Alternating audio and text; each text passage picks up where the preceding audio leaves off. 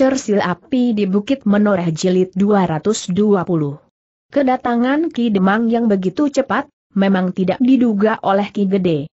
Gelagah Putih dan Sabung Sari memang sudah melaporkan, bahwa mereka memberi waktu tiga hari bagi Ki Demang untuk memberikan jawaban. Tetapi Ki Demang itu datang begitu cepat. Ki Demang dan pengiringnya diterima dengan baik oleh Ki Gede yang kebetulan tidak bepergian. Ki Gede sendiri menyongsong para tamunya dan dipersilahkan, naik ke pendapa. Dengan ramah Ki Gede pun menanyakan keselamatan perjalanan Ki Demang dan pengiringnya. Kemudian Ki Gede juga menanyakan tentang kesejahteraan Kademangan Pucang Telu. Sementara Ki Demang pun telah menanyakan pula tentang keadaan terakhir tanah perdikan menoreh. Baru kemudian Ki Demang Pucang Telu itu pun berkata Ki Gede, kemarin Ki Gede telah mengutus dua orang datang ke Pucang Telu menemui aku. Tanda petik. Ki Gede mengangguk-angguk, katanya ya, Ki Demang. Aku telah memerintahkan dua orang datang ke Pucang Telu untuk menghadap Ki Demang. Salah seorang di antara mereka adalah seorang prajurit Mataram. Ki Gede tersenyum. Sabung Sari memang sudah melaporkan, bahwa ia telah menunjukkan ciri keprajuritannya kepada Ki Demang untuk mencegah berlarut-larutnya pembicaraan sehingga kesalahpahaman di antara mereka akan dapat menjadi semakin tajam. Ya, Ki Demang jawab Ki Gede. Ki Demang itu memandang berkeliling. Ada beberapa orang yang ikut menemui Ki Demang. Antara lain Prastawa dan Ki Argajaya. Tetapi Ki Demang Ilu tidak melihat dua orang yang datang kepadanya di Kademangan Pucang Telu. Dengan agak ragu Ki Demang Ilu bertanya apakah prajurit itu sudah tidak ada di sini? Tanda petik. Kedua orang yang datang menemui Ki Demang itu sedang dipanggil jawab Ki Demang. Apakah kami harus menunggu mereka, atau kita dapat mulai membicarakan persoalan yang disampaikan oleh kedua orang utusan Ki Gede itu? Tanda petik. Namun mereka tidak harus menunggu. Gelagah putih dan sabung sari yang disusul oleh seorang pengawal, telah datang pula dan langsung naik ke pendapa. Nah, bukankah keduanya itu yang telah menemui Ki Demang? Tanda petik. Ya Ki Demang mengangguk-angguk. Seorang di antaranya prajurit, meskipun tidak mengenakan pakaian keprajuritan. Ya, baiklah berkata Ki Demang karena keduanya telah hadir, maka biarlah kita langsung berbicara tentang pokok pembicaraan yang disampaikan oleh kedua orang itu kepadaku. Tanda petik. Ki Gede mengangguk. Namun sebelum menjawab, seorang pembantu di rumah itu telah menghidangkan minuman hangat dan berapa potong makanan. Jadah, wajik dan jenang nangka. Sabung sarilah yang menggamit gelagah pulih sambil tersenyum. Sementara gelagah putih berdesis lirih kita tidak usah memperingatkan para pembantu Ki Gede untuk menghidangkan suguhan. Tanda petik. Sabung Sari menahan tertawanya di dadanya. Namun demikian bibirnya masih saja tersenyum. Ki Gedelah yang kemudian mempersilahkan tamu-tamunya untuk meneguk minumannya serta makan makanan yang dihidangkan. Baru kemudian, Ki Gede pun berkata nah, marilah sekarang kita bicarakan orang-orang yang berada di kademangan pucang telu itu. Tanda petik. Ki Demang mengangguk sambil menjawab baiklah Ki Gede. Tetapi sebelumnya aku ingin menegaskan bahwa kehadiran orang-orang itu di luar tanggung jawabku. Tanda petik. Baiklah. Kehadiran orang-orang itu di kademangan pucang telu memang bukan tanggung jawab Ki Demang kami pun tidak ingin mencari siapa yang harus bertanggung jawab. Yang penting bagi kami, mereka tidak lagi memasuki tanah perdikan ini dari sarang mereka yang berada di Kademangan Pucang Telu. Tanda petik. Maksud Ki Gede. Bertanya Ki Demang. Mereka tidak boleh tinggal di Kademangan Pucang Telu. Jadi maksud Ki Gede, kami harus mengusir mereka dari Kademangan Pucang Telu. Ya, dengan demikian, maka dia marah kita tidak akan terjadi salah paham. Tanda petik. Ki Gede berkata Ki Demang Pucang Telu kami dapat mengerti maksud Ki Gede. Tapi kami mohon Ki Gede dapat mengerti kedudukan kami. Kademangan kami tidak memiliki kekuatan sebesar tanah perdikan. Karena itu, kami tidak dapat berbuat sebagaimana dapat dilakukan oleh tanah perdikan menoreh. Tanda petik. Maksud Ki Demang? Tanda petik. Kami tidak mempunyai kekuatan untuk mengusir mereka jawab Ki Demang sementara itu, kami pun tidak akan dapat menanggulangi dendam yang kemudian akan membakar gerombolan induk mereka. Jangankan kademangan kami yang kecil, sedangkan tanah perdikan menoreh pun menjadi gelisah oleh dendam mereka. Ki Gede mengerutkan dahinya. Dengan nada rendah ia pun menyahut jadi, apakah Ki Demang akan membiarkan saja orang-orang itu berada di kademangan Pucang Telu? Apa yang dapat kami lakukan atas mereka? Berkata Ki Demang kemudian. Baiklah Ki Demang. Jika demikian, kami akan bertindak sendiri terhadap gerombolan perampok dan pembunuh itu. Tanda petik. Apa yang akan Ki Gede lakukan? Tanda petik kami akan menangkap mereka atau menghancurkan mereka. Ki Gede akan mengerahkan kekuatan memasuki wilayah kami? Kami tidak mempunyai pilihan, Ki Demang. Kemarin, ketika kedua orang utusanku menghadap Ki Demang, gerombolan itu telah membuat kekacauan pula di tanah perdikan ini. Beberapa orang di antara mereka telah merampas barang-barang berharga di pasar. Jumlah mereka hanya lima orang. Tanda petik. Mereka juga melarikan diri ke Pucang Telu? Tanda petik. Ya. Tetapi kami tidak melepaskan mereka. Tiga orang di antara mereka terbunuh. Seorang tertangkap dan seorang sempat melarikan diri. Ketika ia memasuki pedukuhan Sambisari, orang-orang kami tidak memburunya karena akan dapat menimbulkan salah paham dengan Ki Bekel di Sambisari. Tanda petik. Ki Demang menarik nafas dalam-dalam. Dengan agak ragu Ki Demang pun berkata aku dapat mengerti kesulitan tanah perdikan dengan orang-orang yang mendendam itu. Tetapi jika saja tanah perdikan mampu meningkatkan kewaspadaan, maka tidak akan dapat terjadi peristiwa sebagaimana telah terjadi itu, sehingga menimbulkan beberapa orang korban di tanah perdikan ini. Tanda petik. Ki Gede memandang Ki Demang dengan tajamnya. Kemudian dengan nada berat Ki Gede itu pun berkata Ki Demang. Jika mereka berada di tempat yang hanya selangkah dari perbatasan, maka mereka akan dapat dengan mudah memasuki wilayah kami. Dalam keadaan yang gawat, mereka lari menyeberangi perbatasan sehingga kami tidak dapat memburu mereka, karena kami masih menghormati hubungan antar tetangga. Jika keadaan yang demikian berlangsung lama, maka kesabaran kami pun akan menjadi semakin larut, sehingga kami akan dapat mengambil langkah-langkah yang dapat menyinggung wewenang tetangga kami. Karena itu, sebelum hal itu terjadi, kami telah menempuh jalan terbaik. Tanda petik. Jika kewaspadaan di tanah perdikan ini baik, maka meskipun mereka dapat menyeberangi perbatasan dengan mudah karena mereka berada dekat dengan perbatasan, namun setelah mereka berada di tanah perdikan, mereka tentu tidak akan dapat berbuat apa-apa. Tanda petik. Prastawalah yang hampir kehilangan kesabaran. Katanya Ki Demang. Kami tidak dapat memagari tanah perdikan kami dengan pengawal. Kami pun tidak dapat mengawasi setiap jengkal tanah kami, sehingga kejahatan masih bisa terjadi. Orang-orang yang berniat jahat itu dapat saja memasuki tanah perdikan ini dengan samaran yang baik. Tetapi setelah mereka berada di tanah perdikan, mereka melakukan kejahatan. Tanda petik.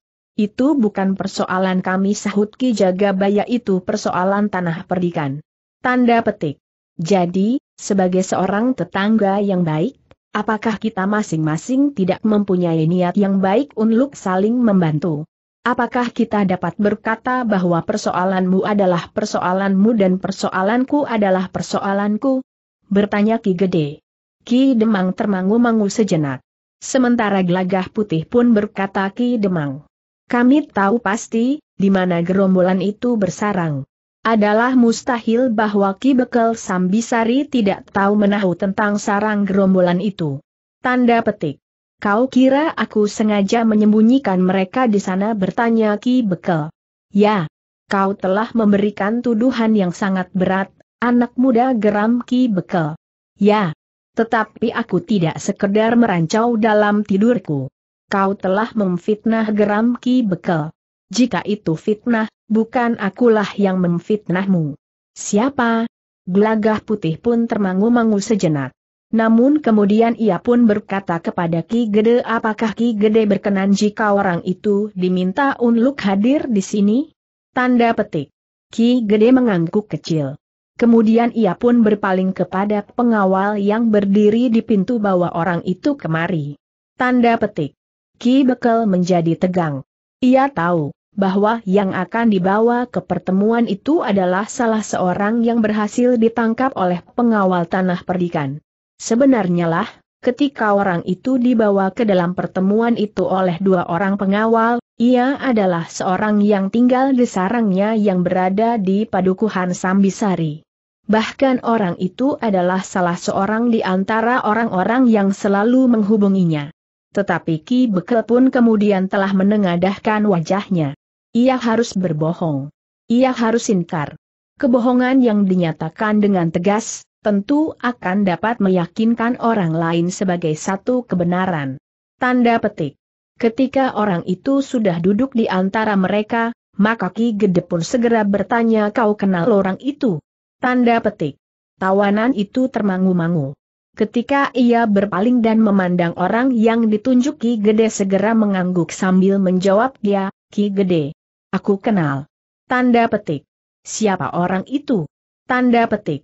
Ki Bekel Sambisari. Tanda petik. Semua orang berpaling kepada Ki Bekel. Bahkan Ki Demang dan Ki Jagabaya dari Pucang Telu. Apakah kau pernah berhubungan dengan Ki Bekel bertanya Ki Gede pula. Ya, Ki Gede.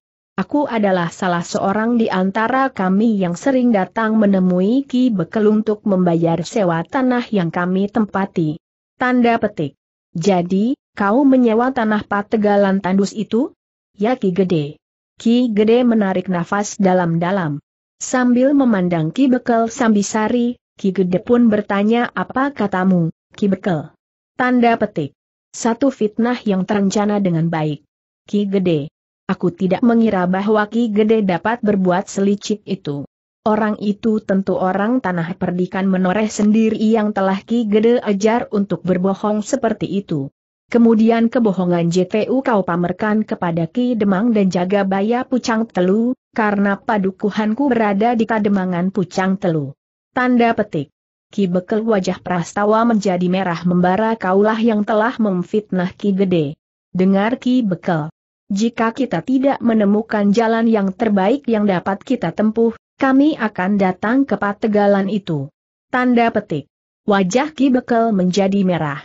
Dengan lantang ia pun berkata jadi kau ingin menunjukkan keperkasaanmu. Lakukan jika kau akan melakukannya. Semua orang akan mengetahui bahwa tanah perdikan menoreh yang besar dan kuat, lelah menelan tetangganya yang kecil. Mataram pun tentu akan mengutuk kesewenang-wenangan tanah perdikan ini. Tanda petik.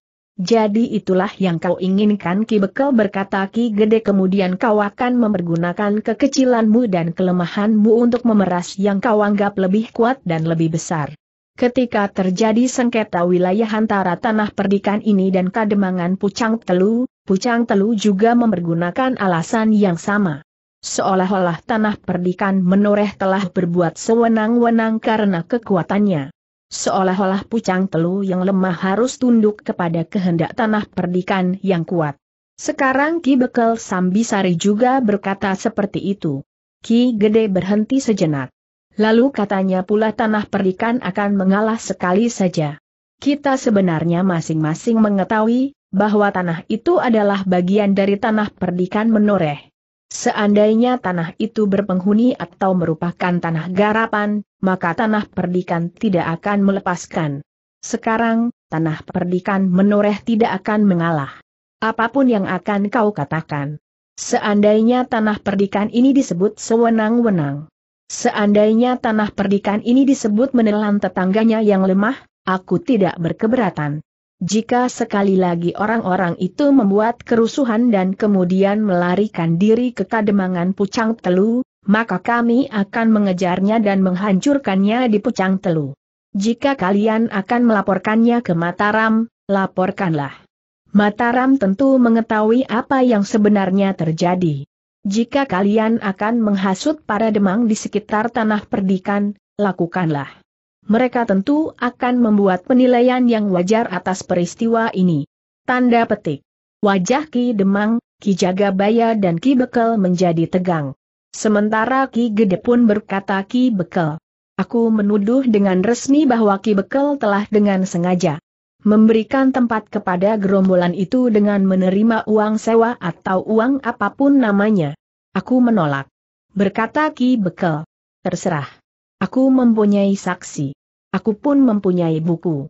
Setiap orang yang melihat sarang gerombolan itu akan tidak percaya bahwa Ki Bekel tidak mengetahuinya. Sementara itu, Ki Demang merasa tidak bertanggung jawab atas kehadiran gerombolan itu di Sambisari. Karena itu, maka Ki Bekelah yang harus bertanggung jawab. Tanda petik. Ki Bekel menjadi semakin tegang. Namun Ki Demang pun kemudian telah mengambil jalan tengah. Care yang masih mungkin ditempuh untuk menyelamatkan harga diri kademangannya. Katanya Ki Gede. Jika gerombolan itu memang bersarang di kademangan kami, maka kami tidak berkeberatan jika satu satuan kekuatan akan memasuki kademangan kami. Tetapi aku minta kekuatan itu datang atas nama Mataram. Apakah yang datang itu prajurit Mataram yang sebenarnya atau para pengawal tanah perdikan, tetapi apa yang dilakukan di kademangan kami adalah perpanjangan dari kuasa Mataram. Prastawa beringsut setapak. Tetapi Ki Gedelah yang lebih dahulu menyahut baik. Apa yang kami lakukan memang atas nama Mataram.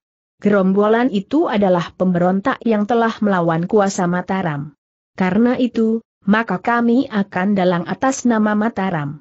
Tetapi aku masih ingin bertanya kepada Ki Demang, apakah Ki Demang masih setia kepada Mataram? Tanda petik. Maksud Ki Gede. Tanda petik. Kami memerlukan bantuan Ki Demang. Bukan bantuan kekuatan, karena kami akan mengirimkan kekuatan secukupnya, tetapi bantuan sikap, agar gerombolan itu tidak lebih dahulu melarikan diri dari Sambisari. Terus terang aku curiga kepada Ki Bekel. Tanda petik.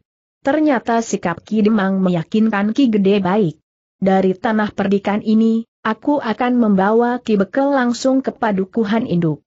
Ki Jagabaya akan menjaganya sampai rencana Ki Gede selesai.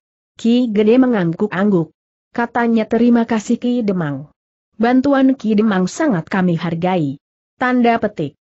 Namun dalam pada itu Ki Bekel pun bertanya kepada Ki Demang jadi Ki Demang juga mencurigai aku? Tanda petik. Aku hanya ingin persoalan ini cepat selesai.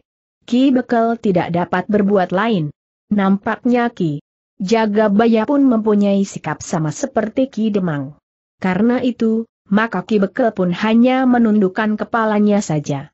Sementara itu, Ki Gede pun berkala hari ini aku akan mengirimkan pasukan ke Padukuhan Sambisari.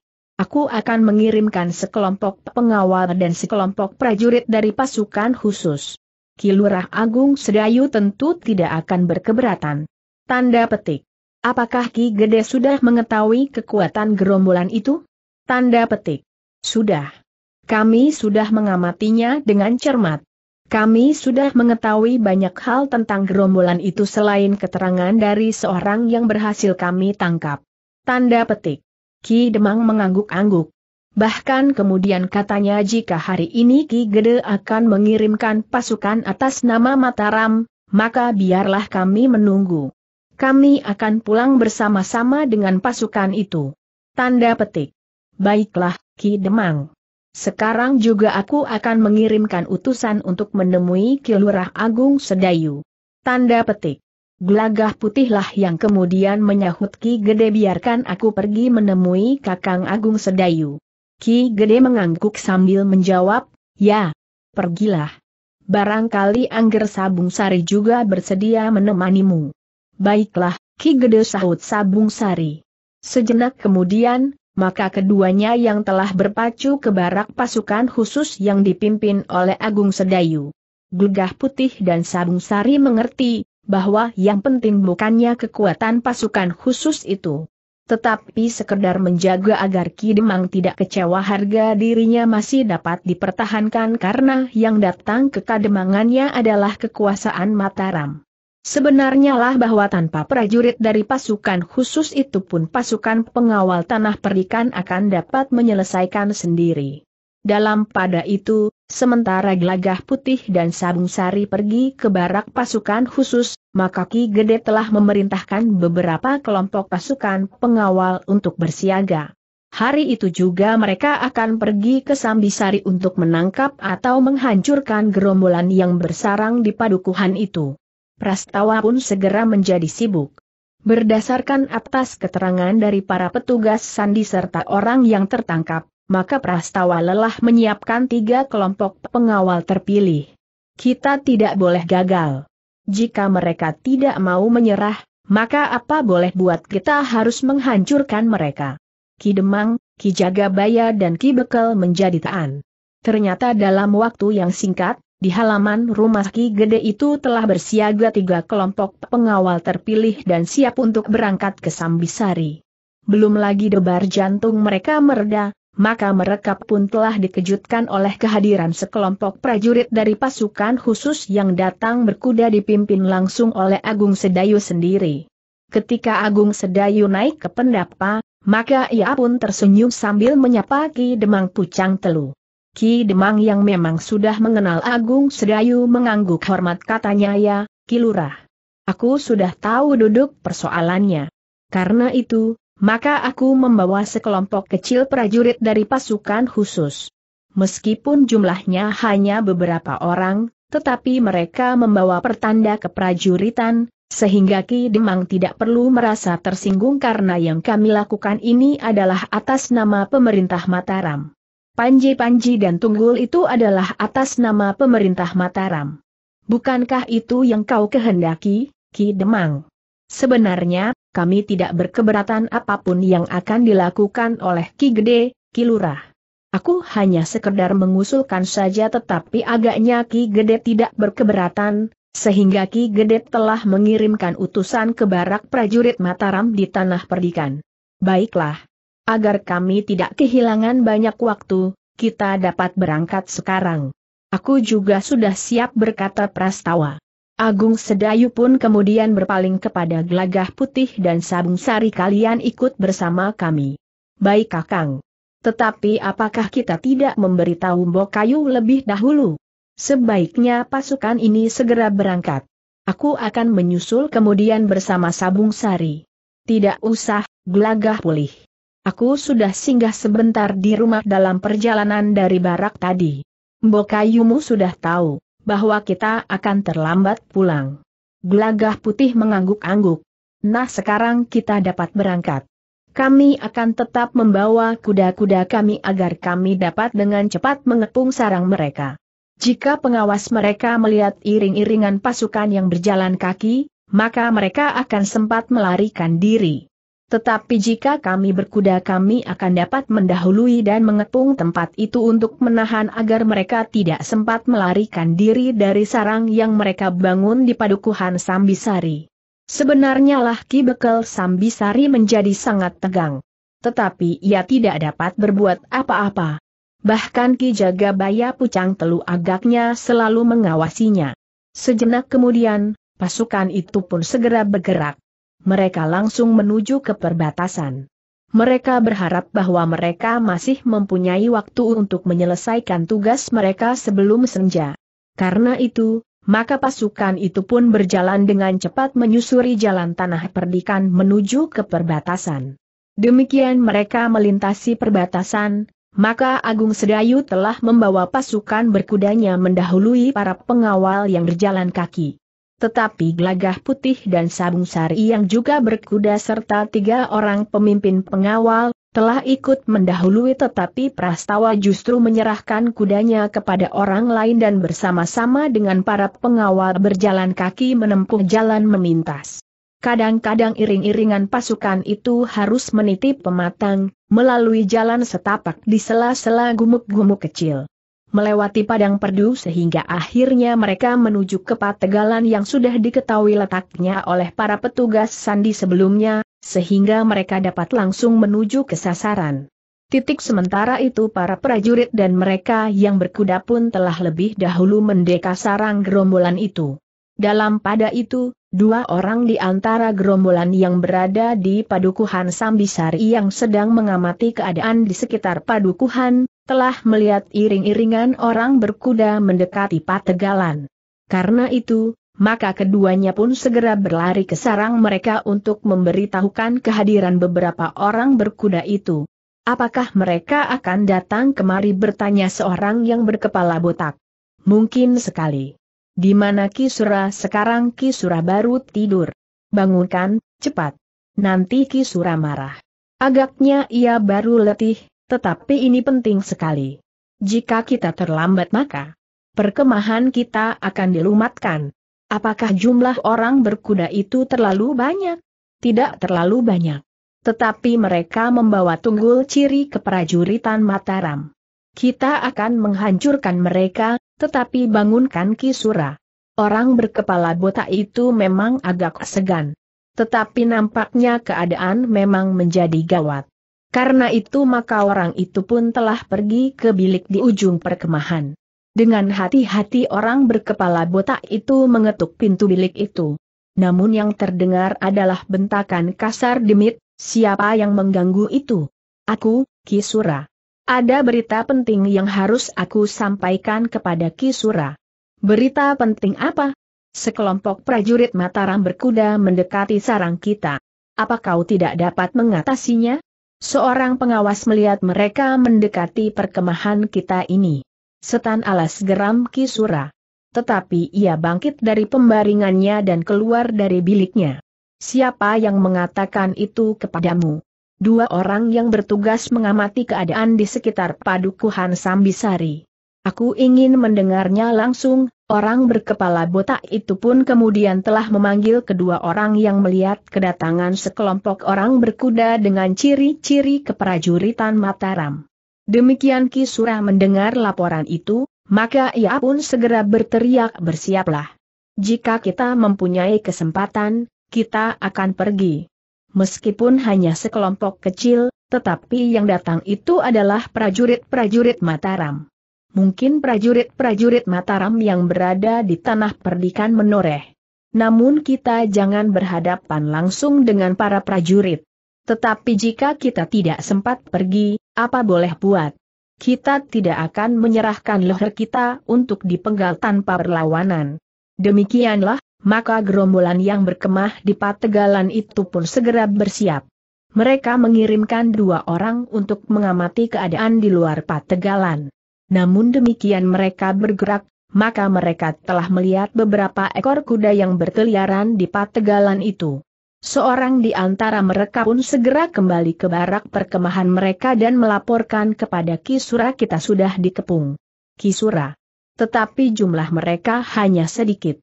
Meskipun mereka membawa tunggul dan kelebat ciri-ciri keprajuritan, tetapi kita akan dapat menembus kepungan itu. Kisura Landak termangu-mangu sejenak. Namun kemudian ia pun berkata siapkan semua orang yang ada. Kita menerobos kepungan. Kita akan memilih jalan yang paling sulit dilalui seekor kuda. Orang-orang di perkemahan itu pun telah bersiap sepenuhnya mereka akan menyingkir dari barak perkemahan mereka dan menghindari dari pertempuran melawan para prajurit Mataram. Ki Bekel ingkar janji desis Ki ia akan menerima hukumannya seharusnya ia memberitahukan rencana kedatangan prajurit Mataram itu. Para prajurit itu tentu sudah memberitahukan kepada Ki Bekel, setidak-tidaknya kemarin. Demikianlah, maka Ki Suralandak telah membawa orang-orangnya menuju ke sebuah gumuk kecil mereka akan menyingkir lewat di sela-sela gumuk itu. Pasukan berkuda dari Mayaram akan mengalami kesulitan untuk mengejar mereka, karena lingkungan alam yang rumit. Para prajurit dari pasukan berkuda itu justru harus menuntun kuda mereka jika mereka akan memburu gerombolan itu lewat jalan yang sama. Kita jangan muncul di sebelah padukuhan di ujung gumuk ini berkata Ki Suralanda prajurit berkuda itu akan dengan mudah menyusul kita. Tetapi kita berbelok ke kiri menempuh jalan di tebing yang curam itu. Kita kemudian akan menyusuri sungai dan menghilangkan jejak ke seberang. Dengan demikian maka iring-iringan sekelompok gerombolan itu kemudian menyusuri jalan-jalan sempit yang rumpil menuruni tebing berbatu-batu padas yang terjal dan licin. Mereka memperhitungkan bahwa pasukan berkuda tidak akan dapat memburu mereka melalui jalan itu pula. Tetapi Ki Suralamda tidak memperhitungkan kemungkinan lain dari kedatangan pasukan berkuda itu. Ki Suralamda tidak mengira bahwa pasukan pengawal dari tanah perdikan menoreh yang berjalan kaki telah menempuh jalan memintas. Karena para petugas sebelumnya sudah mengamati dengan cermat kedudukan gerombolan itu, maka mereka telah memecah pasukan pengawal itu menjadi kelompok yang masing-masing mendekati sarang gerombolan itu dari arah yang berbeda. Satu kelompok di antara mereka ternyata telah menempuh jalan pintas menyusuri tepian sungai menuju ke celah-celah tebing yang berbatu-batu padas. Dua orang yang mendahului para pengawal tanah perdikan itu sempat melihat iring-iringan di depan mereka melewati celah-celah tebing. Karena itu, maka keduanya segera menarik diri dan memberikan laporan kepada Prastawa yang memimpin langsung kelompok itu, bahwa mereka akan berpapasan dengan sebuah iring-iringan yang menurut dugaan mereka adalah gerombolan yang akan menyingkir. Agaknya mereka telah melihat kehadiran pasukan berkuda itu, sehingga mereka mencoba untuk mengelak. Bersiaplah. Yang membawa anak panah dan busur, bersiaplah. Demikian mereka muncul dari celah-celah tebing, kita akan menyerang dengan anak panah. Sementara itu, sebagian dari kita akan memanjat dan melingkar. Jika mereka berniat kembali, maka mereka akan menutup jalan kembali. Dengan cepat para pengawal itu melaksanakan perintah itu. Prastawa sendiri, yang baru saja sembuh dari luka-lukanya, telah siap untuk ikut bertempur. Seorang pengawal telah memperingatkannya, bahwa sebaiknya Prastawa tidak langsung terjun ke dalam pertempuran. Aku sudah sembuh segala-galanya telah pulih mencoba memaksanya, maka justru akan dapat timbul salah paham. Sementara itu, Prastawa pun telah memerintahkan tiga orang pengawal yang membawa anak panah sendaran untuk bersiap. Demikian pertempuran terjadi, maka mereka harus melontarkan anak panah sendaran itu ke kedua arah untuk memberikan isyarat kepada para pengawal yang lain, serta pasukan berkuda pasukan berkuda itu akan dapat mencapai tempat ini lewat jalan di seberang sungai itu. Mereka harus menyeberang dan turun dari kuda mereka, karena kita akan bertempur di celah-celah tebing itu. Demikianlah, para pengawal itu pun telah mencari perlindungan agar orang-orang dalam gerombolan itu tidak segera melihat mereka. Para pengawal yang sebagian kecil itu, harus memperhitungkan kekuatan mereka dengan cermat. Jika kekuatan gerombolan itu jauh lebih besar dari kekuatan mereka, maka sebelum para pengawal yang lain sempat datang membantu, mereka sudah tidak berdaya untuk bertahan. Karena itu, maka demikian gerombolan itu muncul dari celah-celah tebing yang berbatu padas itu, mereka harus mendahului menyerang sambil melontarkan isyarat. Sementara itu, sebagian dari sekelompok pengawal itu telah memanjat tebing untuk memotong jalan jika gerombolan itu akan mundur kembali ke arah tebing. Prastawa memang menjadi berdebar-debar. Jika isyarat yang dilontarkannya tidak segera diketahui oleh sekelompok-sekelompok yang lain, maka kelompoknya akan mengalami kesulitan.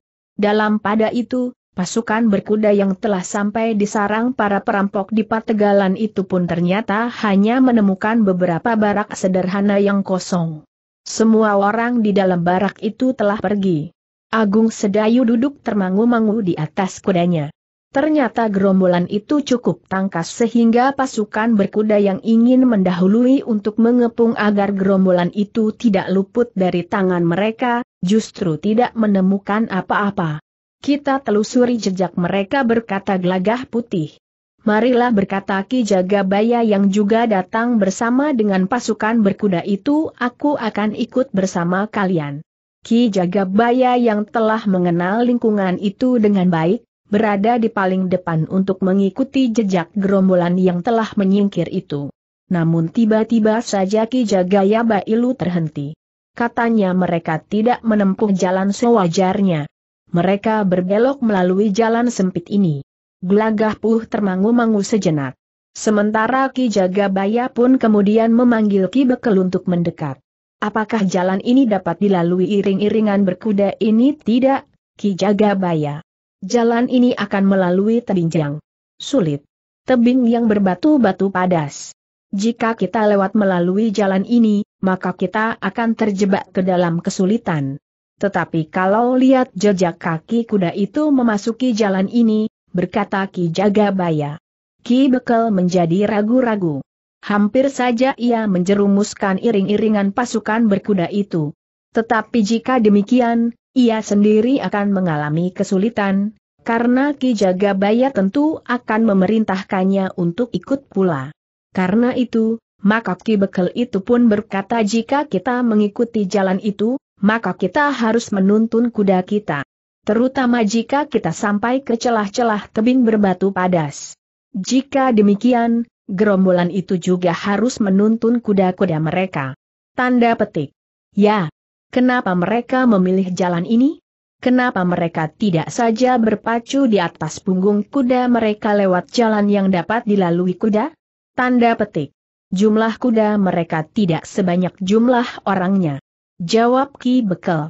Adalah di luar dugaan Ki Bekel ketika tiba-tiba saja Ki Demang berdesis kau memahami benar mereka Ki Bekel. Tanda petik. Wajah Ki Bekel yang tegang itu menjadi semakin tegang. Tetapi ia tidak dapat menjawab pertanyaan Ki Demang itu. Dalam pada itu, Ki Jagabaya pun bertanya jika mereka menempuh jalan ini, di mana mereka akan muncul nanti. Tanda petik. Di ujung lorong di sebelah padukuhan sebelah atau di celah-celah batu padas di pinggir sungai. Mereka akan dapat turun ke sungai, dan menyeberang untuk menghilangkan jejak atau mengikuti tepian sungai lebih dahulu beberapa ratus patok, baru menyeberang. Tanda petik. Jika demikian, kita tidak akan mengikuti mereka dan harus menuntun kuda-kuda kita di jalan yang rumit kita akan melingkari gumuk-gumuk kecil ini saja dan langsung menyongsong mereka di mulut lorong atau di celah-celah tebing itu. Tanda petik. Ki Jagabayalah yang kemudian menjadi penunjuk jalan. Sementara Ki Demang berkata kepada Ki Bekel marilah Ki Bekel. Kita akan memburu mereka. Tanda petik.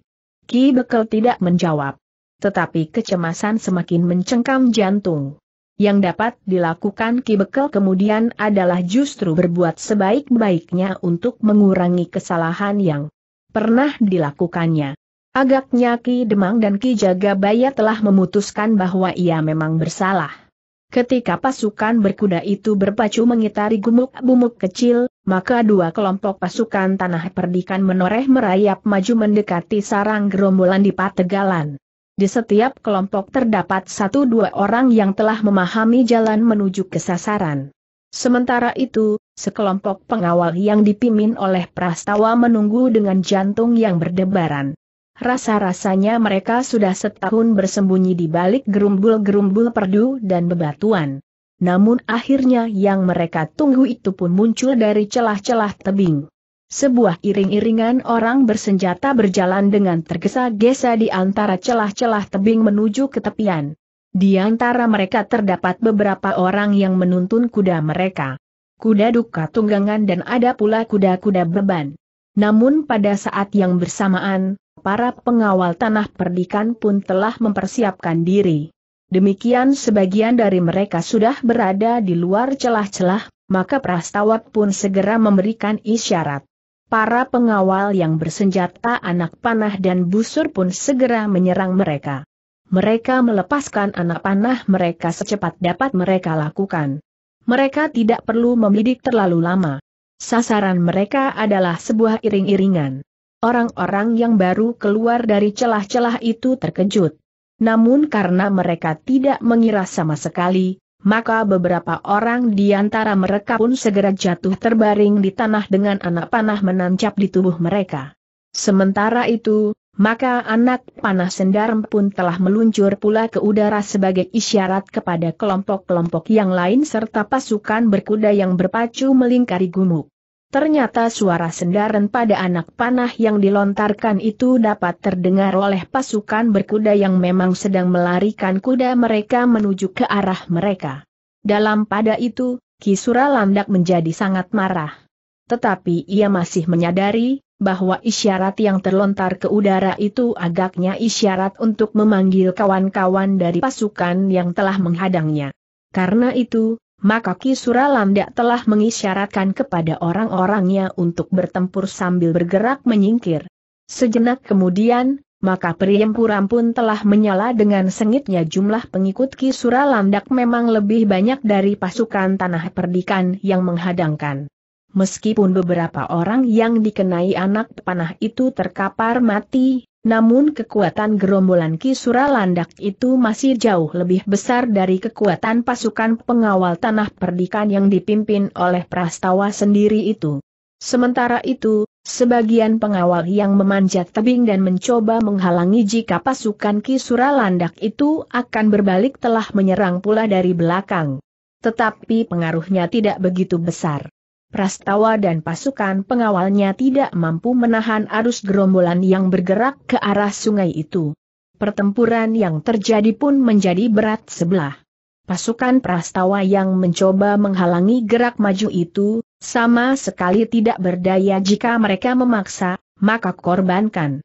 Akan menjadi sangat banyak bahkan mungkin seluruh pasukan itu akan punah. Karena itu, maka yang dapat dilakukan oleh Prastawa hanya sekedar mengganggu, agar perjalanan mereka terhambat para pengawal itu sengaja menyerang dari arah lambung. Namun kemudian dengan cepat mengundurkan diri. Sementara gerombolan itu pun tidak mengejar, karena mereka menyadari, bahwa sekelompok pengawal itu hanya bagian kecil dari seluruh pasukan yang datang untuk menghancurkan mereka. Justru karena itu, maka Ki Suralandak pun telah memerintahkan para pengikutnya untuk semakin cepat bergerak. Hanya beberapa yang berkuda sajalah yang setiap kali melayani serangan-serangan pasukan yang dipimpin oleh Prastawa itu. Sementara itu seorang penghubung telah mengusulkan kepada Prastawa untuk sekali lagi melepaskan anak panah sendaren. Mungkin isyarat mereka yang pertama masih belum didengar oleh kelompok-kelompok yang lain. Baiklah, lontarkan anak panah sendaren itu lagi, sejenak kemudian, maka tiga batang anak sendaren telah meluncur ke langit. Suaranya meraung tinggi menggetarkan udara. Pasukan berkuda yang telah melarikan kuda mereka melingkari gumuk kecil itu telah mendengar anak panah sendaren yang kedua mereka pun telah menduga, bahwa kelompok yang melontarkan anak panah itu memerlukan kehadiran kelompok yang lain segera. Agung Sedayu yang berada di sebelah Ki Jagabaya pun berdesis apakah kita dapat lebih cepat lagi, Ki Jagabaya. Ki Jagabaya menghentakkan kendali kudanya, sehingga kudanya itu pun berlari semakin cepat. Beberapa saat kemudian, maka mereka pun telah menyeberangi sebuah sungai kecil. Mereka menyusuri sungai itu beberapa lama. Namun kemudian, mereka pun kembali harus menyeberangi sungai itu setelah melalui jalan yang berkelok-kelok. Namun mereka pun segera melihat, pertempuran yang terjadi di seberang sungai itu. Itulah mereka berkata gelagah putih. Gerombolan itu berusaha untuk melepaskan diri. Tetapi kelompok itu memang terlalu kecil untuk dapat mencegahnya. Karena itu, maka pasukan berkuda itu pun segera memacu kuda mereka menyusul iring-iringan gerombolan di seberang sungai yang berniat untuk melarikan diri itu. Para prajurit dari pasukan berkuda yaitu memang tidak banyak. Selain para prajurit dari pasukan khusus juga terdapat gelagah putih, sabung sari, dua orang pemimpin pengawal di samping, Ki Demang, Ki Jagabaya, dan Ki Bekel kebingungan. Ki Suralandak pun segera melihat pasukan berkuda yang datang itu. Karena itu, maka ia pun segera memerintahkan para pengikutnya yang berkuda untuk menyongsong kedatangan lawan mereka, sedangkan beberapa orang yang lain akan menunggu di tepian. Perintah serta isyarat yang diberikan oleh Ki Suralandak itu pun sudah jelas bagi para pengikutnya. Karena itu, maka mereka pun segera melaksanakan perintah itu. Beberapa orang berkuda itu pun telah menyeberangi sungai menyongsong lawan-lawan mereka yang juga sudah siap menyeberang. Namun ketika mereka melihat orang gerombolan berkuda itu juga menyeberang, maka mereka pun telah menunggu. Demikian beberapa orang gerombolan berkuda itu mencapai tepian, maka pertempuran telah terjadi. Tetapi gerombolan itu pun segera menarik diri menyeberangi sungai itu pula. Para prajurit pun berusaha untuk mengejar, mereka Agung Sedayu, Gelagah Putih dan Sabung Sari berada di depan. Namun Agung Sedayu pun segera memberikan isyarat untuk berhenti. Kemudian terdengar aba-abanya berpencar. Di hadapan kita menunggu ujung tombak. Para prajurit pun telah berpencar. Sebenarnya lah, beberapa orang pengikut Ki Suralandak telah menunggu di tepian. Demikian kuda-kuda anggaula gerombolan yang lain lewat, maka tombak dan lembing itu akan dilontarkan kepada para prajurit yang mengejar mereka. Tetapi para prajurit itu tidak langsung memburu para pengikut Ki Suralandak. Justru karena mereka berpencar, maka beberapa orang yang sudah siap dengan tombak di tangan, telah kehilangan sasaran. Namun dengan demikian, maka pertempuran yang sebenarnya dari orang-orang berkuda itu telah terjadi di pinggir sungai kedua belah pihak telah naik ke atas tebing yang rendah. Dengan berbekal kemampuan berkuda serta ilmu mempergunakan senjata, maka kedua belah pihak telah terlibat dalam pertempuran. Sementara itu, beberapa puluh langkah dari medan pertempuran antara kedua kelompok orang berkuda itu, Prastawa dan para pengawal tanah perdikan telah bertempur pula melawan sebagian dari gerombolan itu. Karena jumlah lawannya menyusut, maka Prastawa telah memberanikan diri untuk bertempur langsung beradu dada. Dengan demikian, telah terjadi dua lingkaran pertempuran yang sengit para penunggang kuda mereka. Sambar menyambar seperti sekelompok Garuda yang bertempur melawan sekelompok Raja Wali. Namun dalam pada itu, Prastawa dan para pengawal masih saja mengalami kesulitan menghadapi lawan-lawannya. Kisura landak mengamuk seperti seekor harimau yang lapar. Namun sementara itu, para pengikut Ki Suralandak yang bertempur di alas punggung kudanya, segera mengalami kesulitan. Satu persatu mereka terlempar jatuh.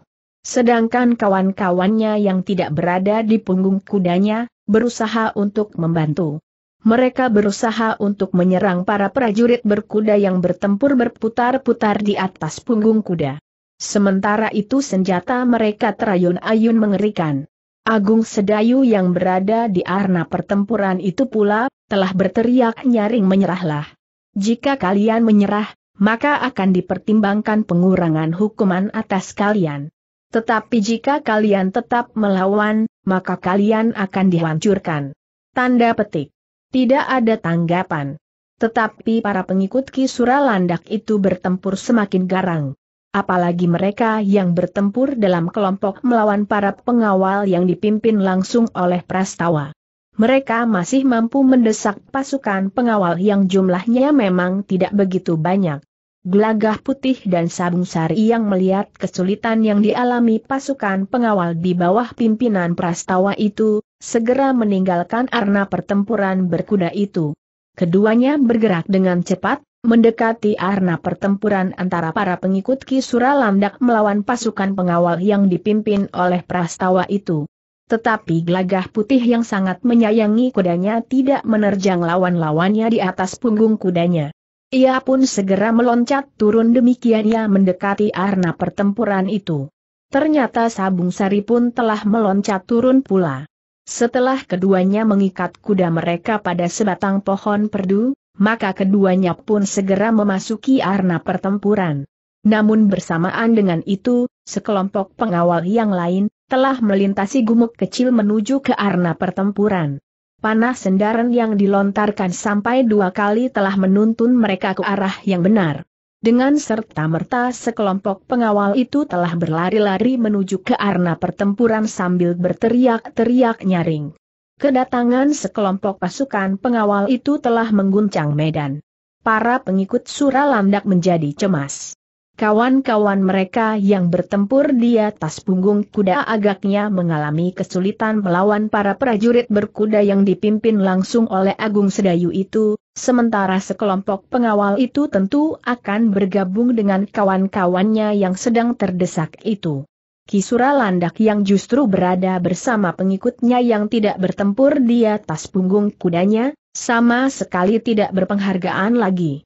Karena itu, maka ia pun segera memberikan isyarat kepada para pengikutnya satu teriakan nyaring yang tidak dimengerti artinya oleh lawan-lawannya telah menggetarkan arna pertempuran itu. Namun Agung Sedayu sudah menduga, bahwa isyarat itu adalah isyarat untuk melarikan diri karena itu Agung Sedayu sekali lagi memperingatkan menyerahlah. Jangan berusaha melawan atau melarikan diri jika kesempatan ini tidak kalian pergunakan, maka kami benar-benar akan menghancurkan kalian. Tetapi Ki Suralamda tidak menghiraukannya. Sekali lagi ia meneriakan isyarat itu. Sebenarnya lah, maka para pengikut Suralamda pun segera bersiap-siap. Demikian pasukan pengawal yang datang itu mendekat, maka para pengikut Suralandak itu pun segera melarikan diri. Seorang di antara pengikutnya yang berkuda, telah melarikan kudanya menghampiri Suralandak dan memberikan kuda itu kepadanya, agar Suralandak dapat melarikan diri dengan cepat. Tetapi yang terjadi justru sebaliknya. Demikian Suralandak melarikan kudanya dalam kekacau balauan pertempuran itu, gelagah putih yang dapat membaca apa yang akan dilakukannya, segera berlari dan meloncat ke punggung kudanya pula. Gelagah putih tidak menghiraukan lagi para pengikut Suralandak yang lain. Gelagah putih yang sejak melibatkan diri dalam pertempuran antara para pengikut Suralandak dan para pengawal yang tidak berkuda itu, telah menduga, bahwa orang itu adalah pemimpin gerombolan yang telah mengacaukan tanah perdikan menoreh dan bersaing di padukuhan Sambisari. Apalagi ketika seseorang telah menyerahkan kudanya kepada orang itu, sementara ia sendiri harus melarikan diri dengan kakinya, maka gelagah putih pun menjadi pasti, bahwa orang itu adalah pemimpin gerombolan itu. Salah seorang di antara gerombolan itu yang tertangkap telah menyebut nama pemimpinnya bernama Suralandak. Nama yang pernah terdengar pula di medan pertempuran di sisi barat tanah perdikan menoreh desis gelagah putih di dalam hatinya namun nama itu tenggelam di antara nama-nama orang berilmu tinggi yang lain. Sejenak kemudian, maka kuda gelagah putih pun telah dipacu untuk menyusul Ki Suralandak, sementara para prajurit telah mengejar pada penunggang kuda yang lain. Sedangkan mereka yang tidak berkuda, harus melarikan diri sambil berusaha melindungi diri mereka dari ujung senjata para pengawal yang memburu mereka. Beberapa orang yang berputus asa pun telah menyerah dengan melemparkan senjata mereka tetapi ada yang sempat mencapai padang ilalang dan berusaha bersembunyi di dalamnya. Kisura landak yang dikejar oleh gelagah putih memacu kudanya seperti angin. Kemampuannya menunggang kuda pun mengagumkan. Kudanya dibawanya berlari memanjat tebing sungai, kemudian melintasi tanggul. Menyeberang jalan kecil dan meloncat parit dan berlari di padang rumput yang luas tempat anak-anak menggembalakan kambing dan kerbau mereka. Sementara itu, gelagah putih pun berpacu pula mengikutinya. Ia tidak mau kehilangan orang yang harus bertanggung jawab atas segala perbuatan gerombolannya di tanah perdikan menoreh. Sehingga dengan demikian, maka gelagah putih pun telah memburu lawannya ke mana pun ia pergi. Kisura Landak yang terlalu percaya kepada kudanya merasa dirinya sudah terbebas dari tangan para prajurit Mataram. Namun agaknya seorang di antara para prajurit itu tidak mau melepaskannya dan memburunya ke mana ia pergi. Kuda orang itu cukup baik desis Kisura Landak. Tetapi ternyata bahwa gelagah putih justru menjadi semakin dekat kuda yang memburunya itu mampu berlatih lebih cepat. Ketika Ki Suralandak itu menoleh, ia pun terkejut. Orang yang mengejarnya itu sudah berada dekat di belakangnya. Setan kuda itu geramnya. Ki Suralandak memang menjadi gelisah setelah ia melihat kuda yang mengejarnya itu. Seekor kuda yang besar dan tegar. Jarang ada orang yang memiliki kuda seperti itu. Semakin lama gelagah putih memang menjadi semakin dekat Suralandak menyadari bahwa ia tidak dapat hanya sekedar terkejut dan heran. Tetapi ia harus melawan orang yang mengejarnya itu.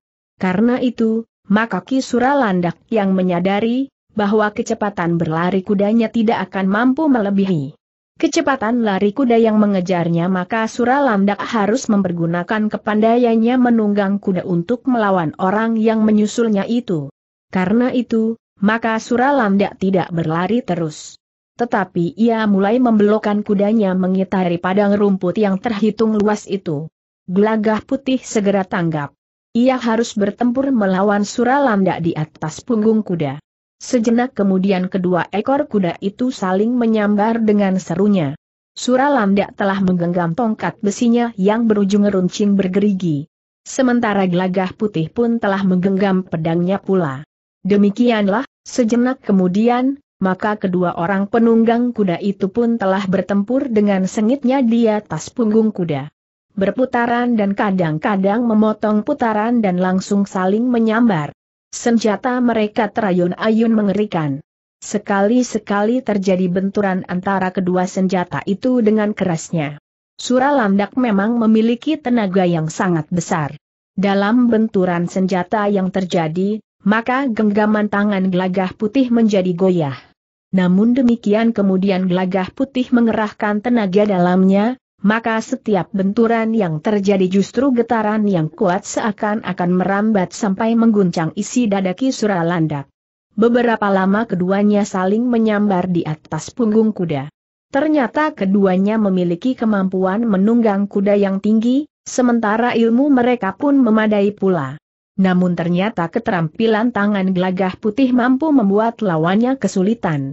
Gelagah putih tidak saja mengayunkan senjata dilambari dengan kekuatan yang besar, tetapi dengan cerdik gelagah putih memutar senjatanya sehingga ayunan tongkat lawannya tidak disentuhnya.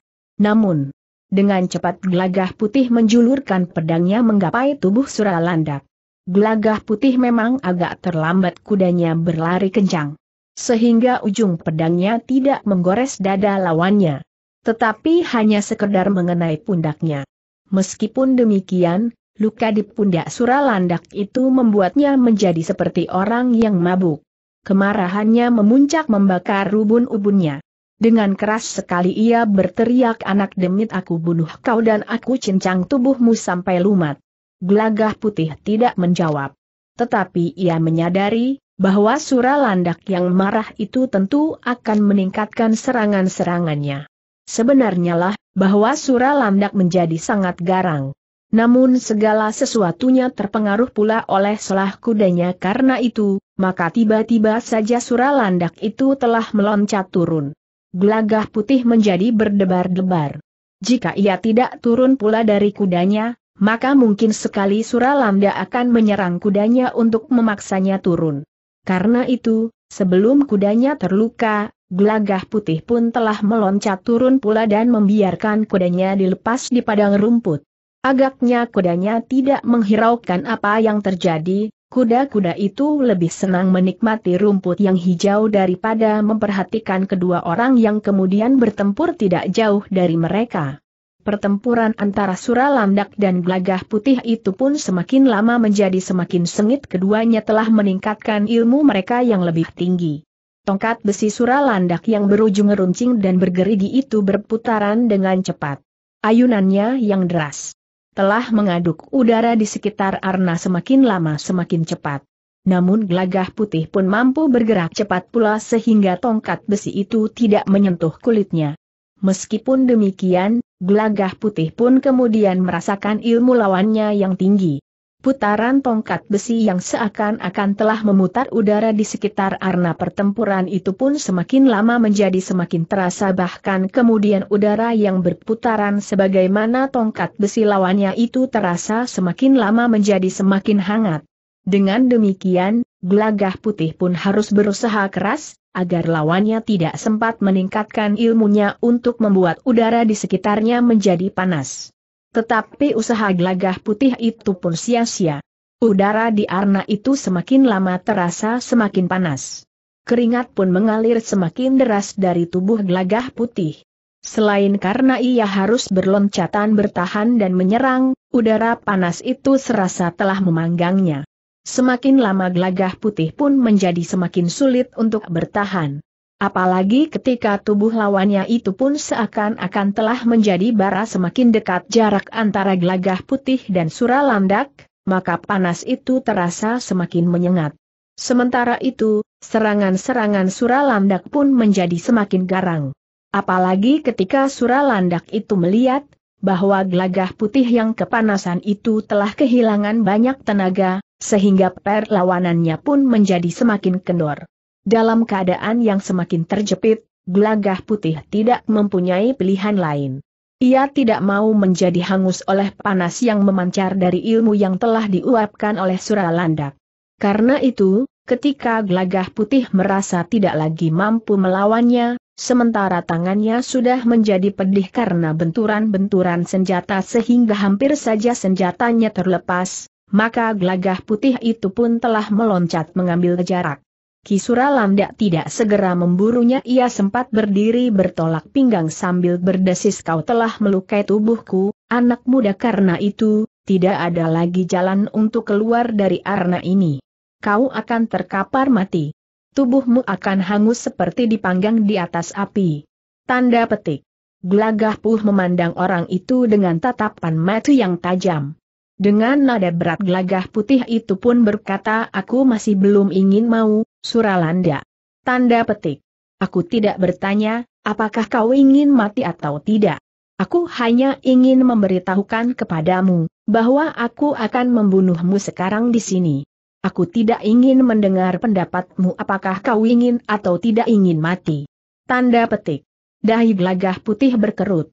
Namun kemudian ia pun berkata baik. Kita akan berpegang kepada rencana kita masing-masing. Sekarang bersiaplah. Aku akan membunuhmu. Tanda petik. Suralandak mengerutkan dahinya. Wajahnya menegang. Anak muda yang dihadapinya itu sama sekali tidak nampak menjadi gentar meskipun ia sudah terpanggang panas ilmunya sehingga keringatnya terperas dari tubuhnya. Kau terlalu sombong anak muda geram Suralandak. Tetapi gelagah putih tidak menjawab. Selangkah demi selangkah Suralandak itu mendekati gelagah putih. Panas yang memancar dari ilmunya itu sudah terasa di kulit gelagah putih. Sementara itu Suralandak pun telah memutar tongkat besinya pula. Gelagah putih sama sekali tidak beranjak dan tempatnya. Ia berusaha meningkatkan daya tahannya untuk melawan panas yang memancar dari ilmu Suralandak. Namun ternyata gelagah putih tidak mampu mengatasinya apalagi ketika Suralandak itu meloncat menyerangnya. Karena itu, maka gelagah putih pun segera berloncatan mengambil jarak dipusatkannya nalar budinya untuk mengeterapkan ilmu pamungkasnya. Gelagah putih tidak mau terkapar mati menjadi korban keganasan Suralandak.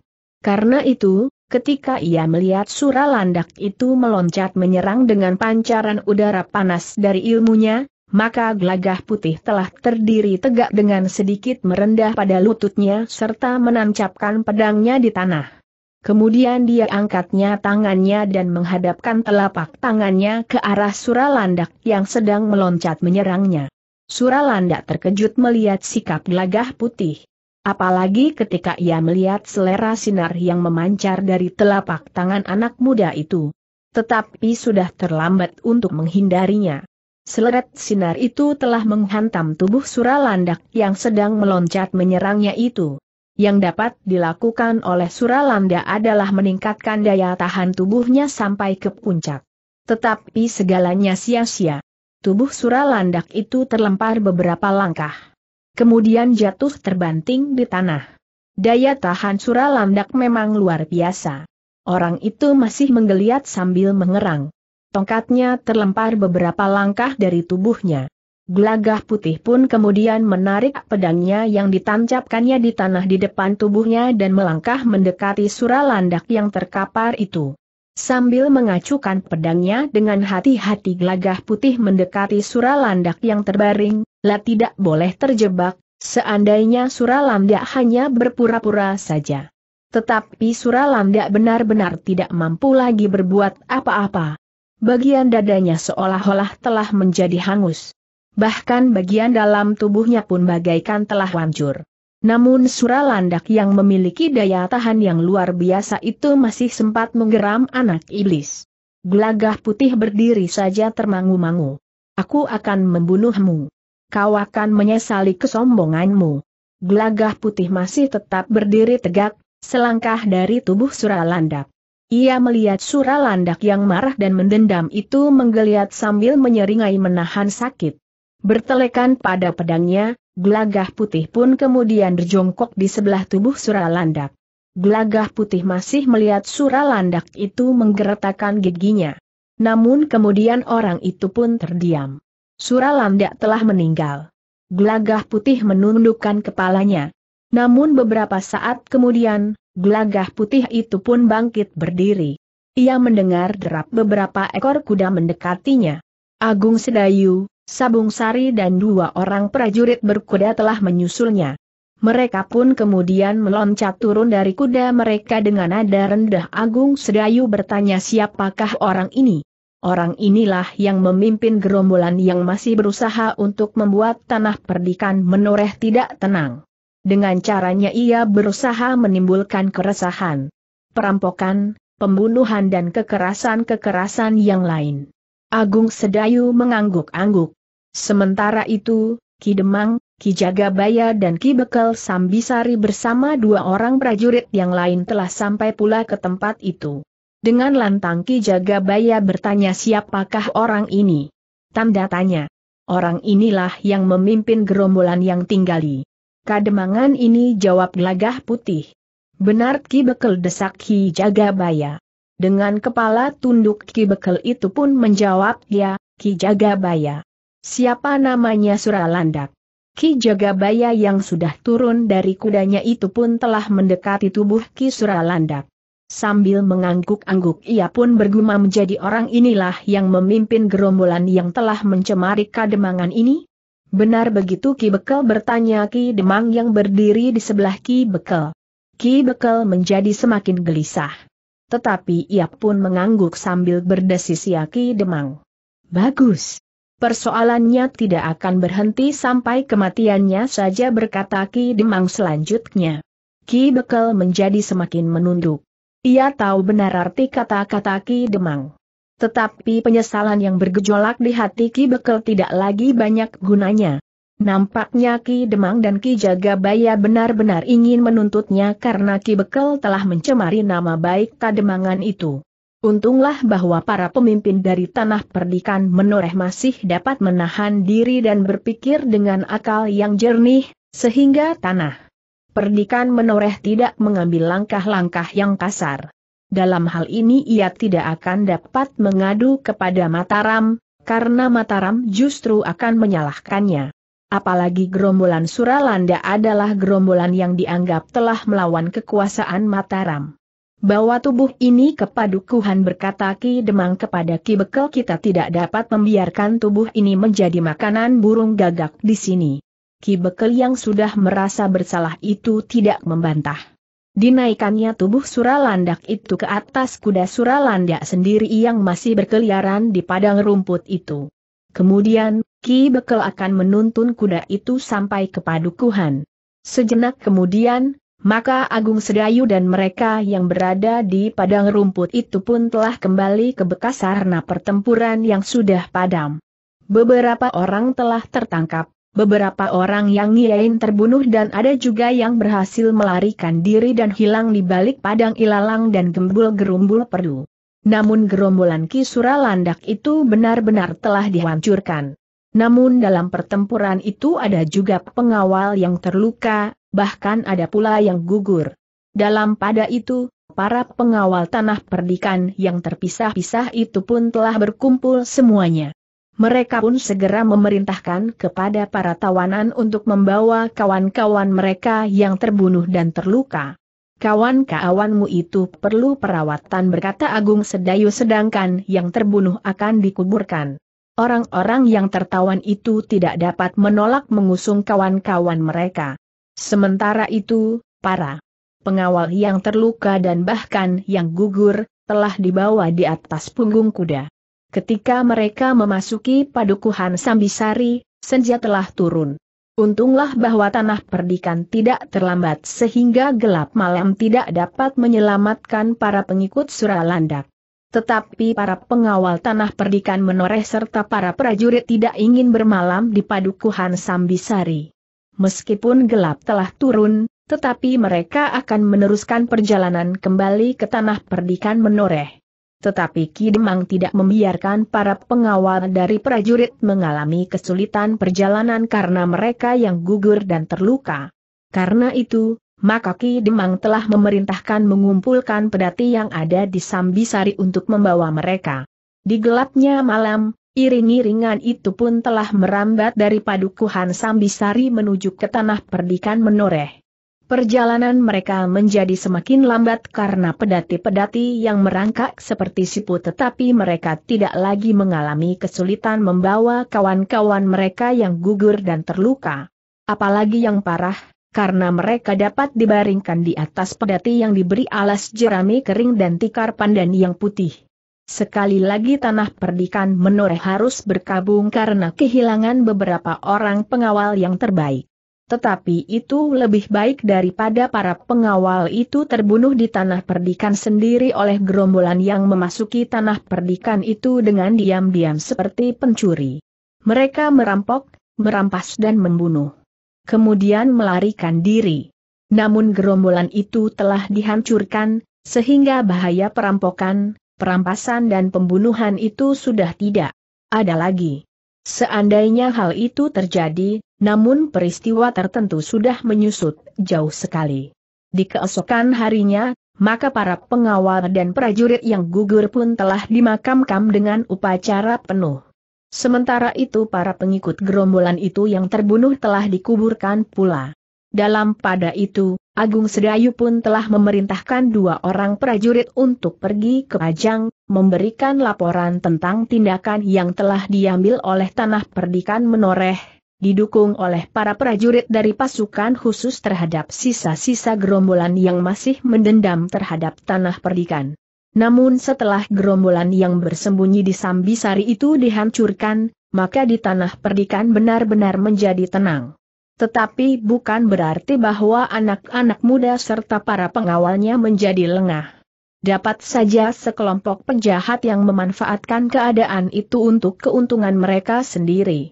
Justru pada saat tanah perdikan merasa bahwa gerombolan yang sering mengganggu ketenangan di tanah perdikan sudah dihancurkan, maka justru pengamanannya menjadi kendor. Namun ternyata bahwa keadaan tanah perdikan menoreh benar-benar menjadi tenang. Di malam hari selain yang bertugas meronda di setiap padukuhan, rakyat tanah perdikan menoreh dapat tidur dengan tenang. Di siang hari, mereka dapat bekerja di bidang mereka masing-masing tanpa merasa diganggu. Pasar-pasar di tanah perdikan pun menjadi semakin berkumandang di pagi hari. Suara para pandai besi yang menempa membuat alat-alat pertanian di perhatiannya, serta suara perempuan yang menumbuk padi, memenuhi seluruh tanah perdikan.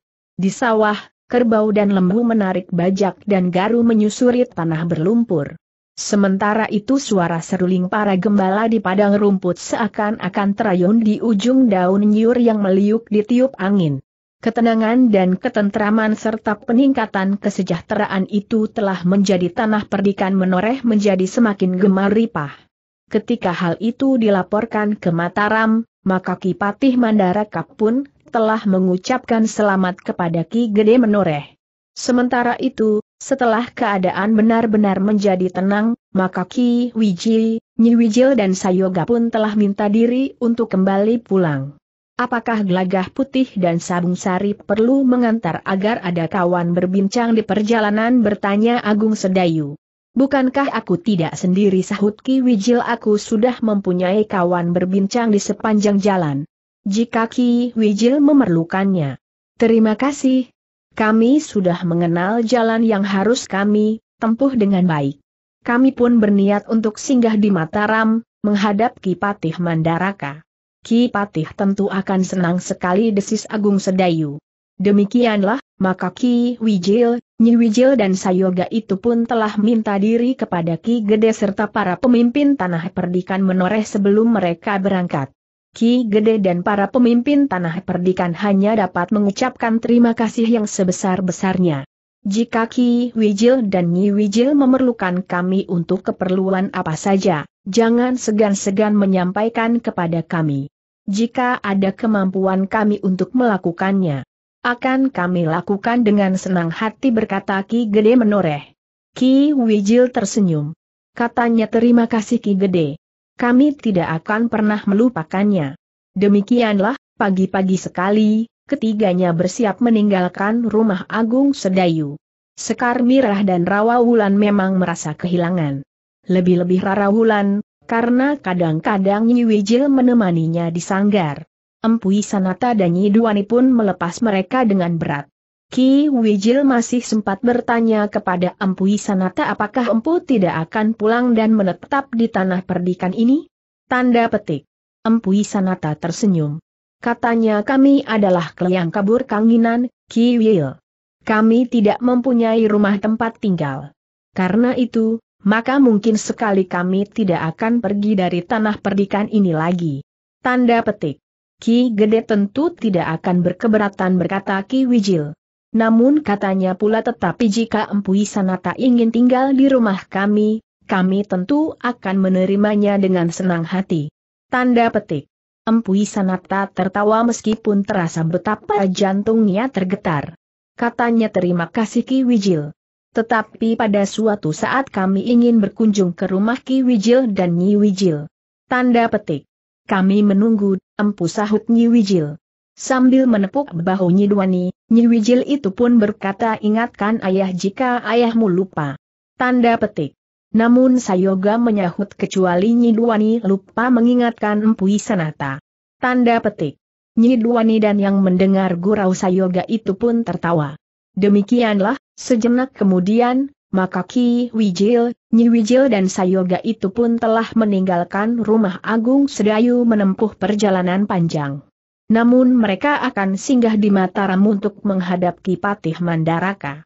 Ketika Ki Wijil, Nyi Wijil dan Sayoga sudah tidak kelihatan lagi, Empu Sanata pun berdesis kami sama sekali tidak berkeberatan. Bahkan jika Empu benar-benar akari menetap di tanah perdikan ini, aku akan berbicara dengan Ki Gede. Tanda petik. Empu Sanata menarik nafas dalam-dalam. Namun katanya kemudian aku akan memikirkannya, Ki Lurah. Jika aku sampai pada kesimpulan itu, maka aku akan menyampaikannya kepada Kilurah. Tetapi untuk sementara, kami mohon diizinkan untuk tinggal di sini. Tanda petik. Silahkan empu. Kami tidak mempunyai keberatan apa-apa. Dengan demikian, maka Empu Sanata dan Nyi Duani masih tetap tinggal di rumah Agung Sedayu untuk sementara. Tetapi gagasan untuk tinggal di tanah perdikan itu telah disampaikan kepada Ki Gede mendahului keputusan Empu Sanata sendiri. Seperti yang diduga oleh Agung Sedayu, Ki Gede tidak berkeberatan. Meskipun demikian, Ki Lurah Agung Sedayu itu pun berkata tetapi segala sesuatunya aku akan menunggu pernyataan Empu Sanata Ki Gede. Jika aku yang menawarkannya, Empu Sanata dapat menjadi salah paham, Seakan-akan akulah yang ingin memindahkannya dari rumahku. Kilurah pun tertawa pula. Namun untuk beberapa lama Empu Sanata masih belum menyatakan sikapnya agaknya ia masih tetap ragu-ragu. Yang mengejutkan kemudian adalah kedatangan Pandanwangi yang tiba-tiba saja bersama dua orang bebahu kademangan sangkal putung yang sudah separuh baya. Tetapi, Pandanwangi tidak langsung pergi ke rumah Ki Gede. Tetapi Pandan Wangi justru langsung pergi ke rumah Agung Sedayu. Sekar Mirah yang ada di rumah terkejut atas kedatangannya. Dengan tergesa-gesa ia menyongsongnya dan mempersilahkannya naik ke pendapa. Kapan Mukayu datang bertanya Sekar Mirah. Baru saja Sekar Mirah. Tanda petik. Mbokayu Pandanwangi langsung datang ke rumah ini? Pandanwangi mengangguk. Di mana kemanakanku? Tanda petik. Aku tidak mengajaknya. Anak itu aku titipkan kepada kakeknya di sangkal putung. Sekar Mirah termangu-mangu sejenak. Namun kemudian Sekar Mirah itu pun mengajaknya duduk di ruang dalam, sementara itu ia minta gelagah putih dan sabung sari menemui dua orang bebahu dari sangkal putung. Diperkenalkannya Pandan Wangi dengan Nyidwani. Namun Nyidwani itu pun kemudian pergi ke dapur bersama dengan Sekar Mirah. Pada pandangan mata pandan wangi, Sekar Mirah melihat sesuatu yang bagaikan menyelimuti kecerahan pandangannya tetapi Sekar Mirah tidak menanyakannya. Ia tidak ingin menyinggung perasaan pandan wangi. Namun Sekar Mirah itu pun telah menanyakan keselamatan keluarga di Sangkal Putung. Sebaliknya Pandan Wangi pun kemudian telah menanyakan keselamatan keluarga di tanah perdikan menoreh. Aku belum menghadap ayah berkata Pandan Wangi kemudian. Kenapa? Tanda petik. Pertanyaan Sekar Mirah itu agaknya telah mengungkit perasaan Pandan Wangi. Namun Pandan Wangi itu berusaha untuk mengendalikan diri. Namun agaknya Sekar Mirah dapat membaca gejolak perasaan Pandan Wangi. Karena itu, maka ia pun tidak mendesaknya. Bahkan Sekar Mirah itu pun berkata Kakang Agung Sedayu masih berada di barak. Di sore hari ia baru pulang. Tanda petik. Di ruang dalam rumahmu itu, udaranya terasa sejuk, Sekar Mirah. Desis Pandan Wangi. Hari ini udara memang terasa agak sejuk apalagi mbok kayu tadi kepanasan di sepanjang jalan. Namun pada waktu yak lain, ruangan ini panasnya bagaikan perapian. Tanda petik. Pandan Wangi mengangguk-angguk. Katanya namun keluargamu nampaknya juga selalu sejuk. Tanda petik. Sekar Mirah menarik nafas dalam-dalam, lah merasa sesuatu yang asing bergetar di jantung kakak iparnya itu. Tetapi Sekar Mirah tidak dapat langsung bertanya.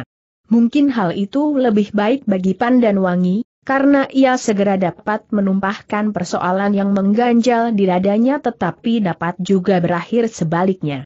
Karena itu, Sekar Mirah memilih lebih baik menunggu daripada terjadi salah paham.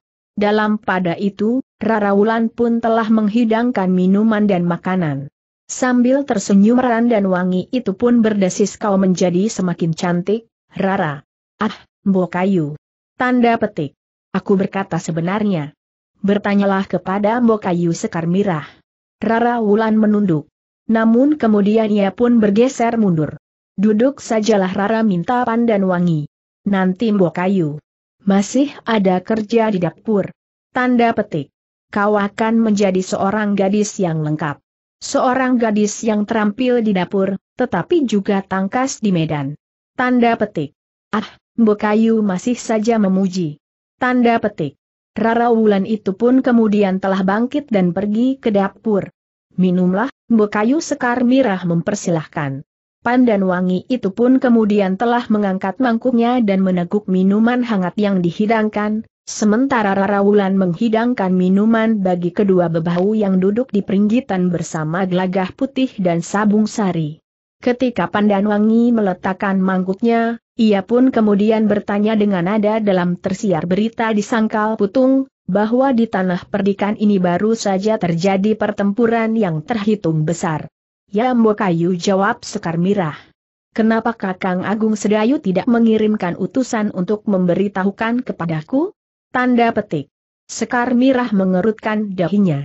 Bukankah tidak seharusnya Agung Sedayu, Seorang lurah prajurit dari pasukan khusus Mataram yang berada di tanah perdikan ini memberikan laporan kepada Pandanwangi? Namun Sekar Mirah tidak mengatakannya. Agaknya Pandanwangi pun tidak sadar atas ucapannya sendiri. Dengan hati-hati Sekar Mirah justru bertanya apakah Ki Gede tidak mengirimkan utusan ke Sangkal Putung? Tanda petik.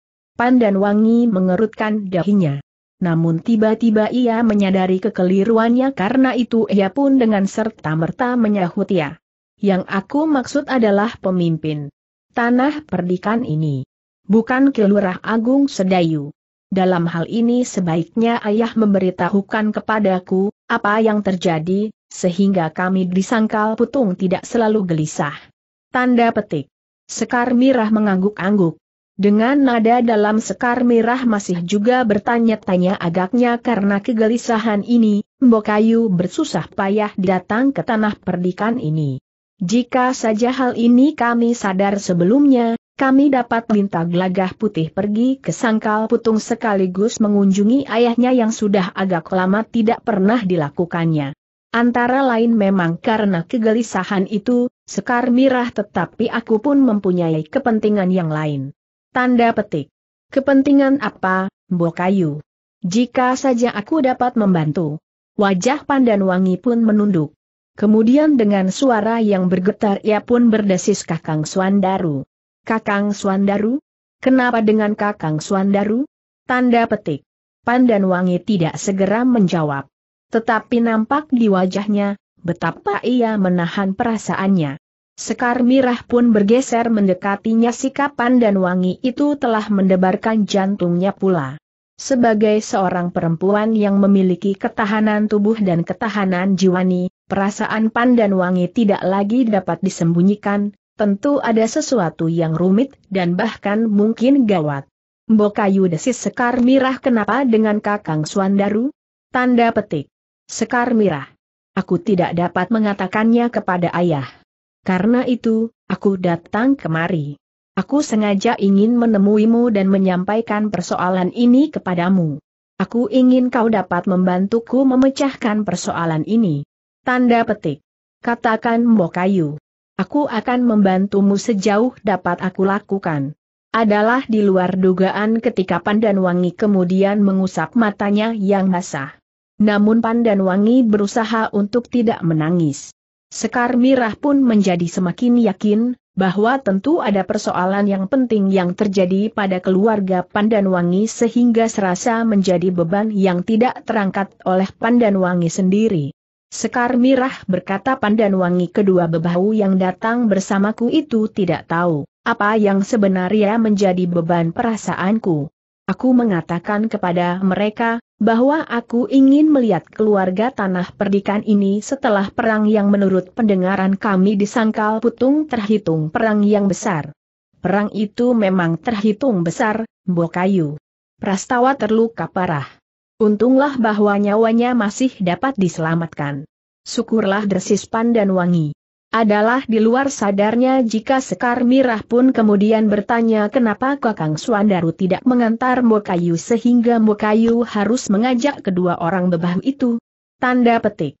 Pandan Wangi memandang Sekar Mirah dengan sorot metu yang ganjil bahkan mata Pandan Wangi itu pun kemudian menjadi berkaca-kaca. Bokayu. Apa yang terjadi? Sekar Mirah menjadi semakin gelisah apa yang terjadi dengan Kakang Suandaru? Tanda petik. Pandan Wangi bertahan untuk tidak menane, es. Namun kata-katanya menjadi semakin sendat dan patah-patah Kakang Suandaru telah berusaha, sekar mirah. Tanda petik. Berubah? Apanya yang berubah? Tanda petik. Kakang Suandaru tidak mau mengantarku. Jika hanya itu yang dilakukan, aku dapat menunda kepergianku ke tanah perdikan. Untuk menenangkan hatiku, aku dapat mengirimkan dua tiga orang untuk mencari berita keselamatan keluarga tanah perdikan ini. Tetapi Kakang Swanru benar-benar telah terbenam ke dalam satu putaran kehidupan yang tidak pernah dijamahnya sebelumnya. Tanda petik. Apa yang terjadi? Pandan Wangi terdiam sejenak. Namun kemudian dengan sendat ia pun berkata Kakang Swandaru telah menempuh jalan kehidupan yang seharusnya dijauhi. Tanda petik. Maksud Bokayu? Tanda petik. Kehidupan malam seakan-akan telah menelannya Judi bertanya Sekar Mirah. Pandan Wangi menggeleng.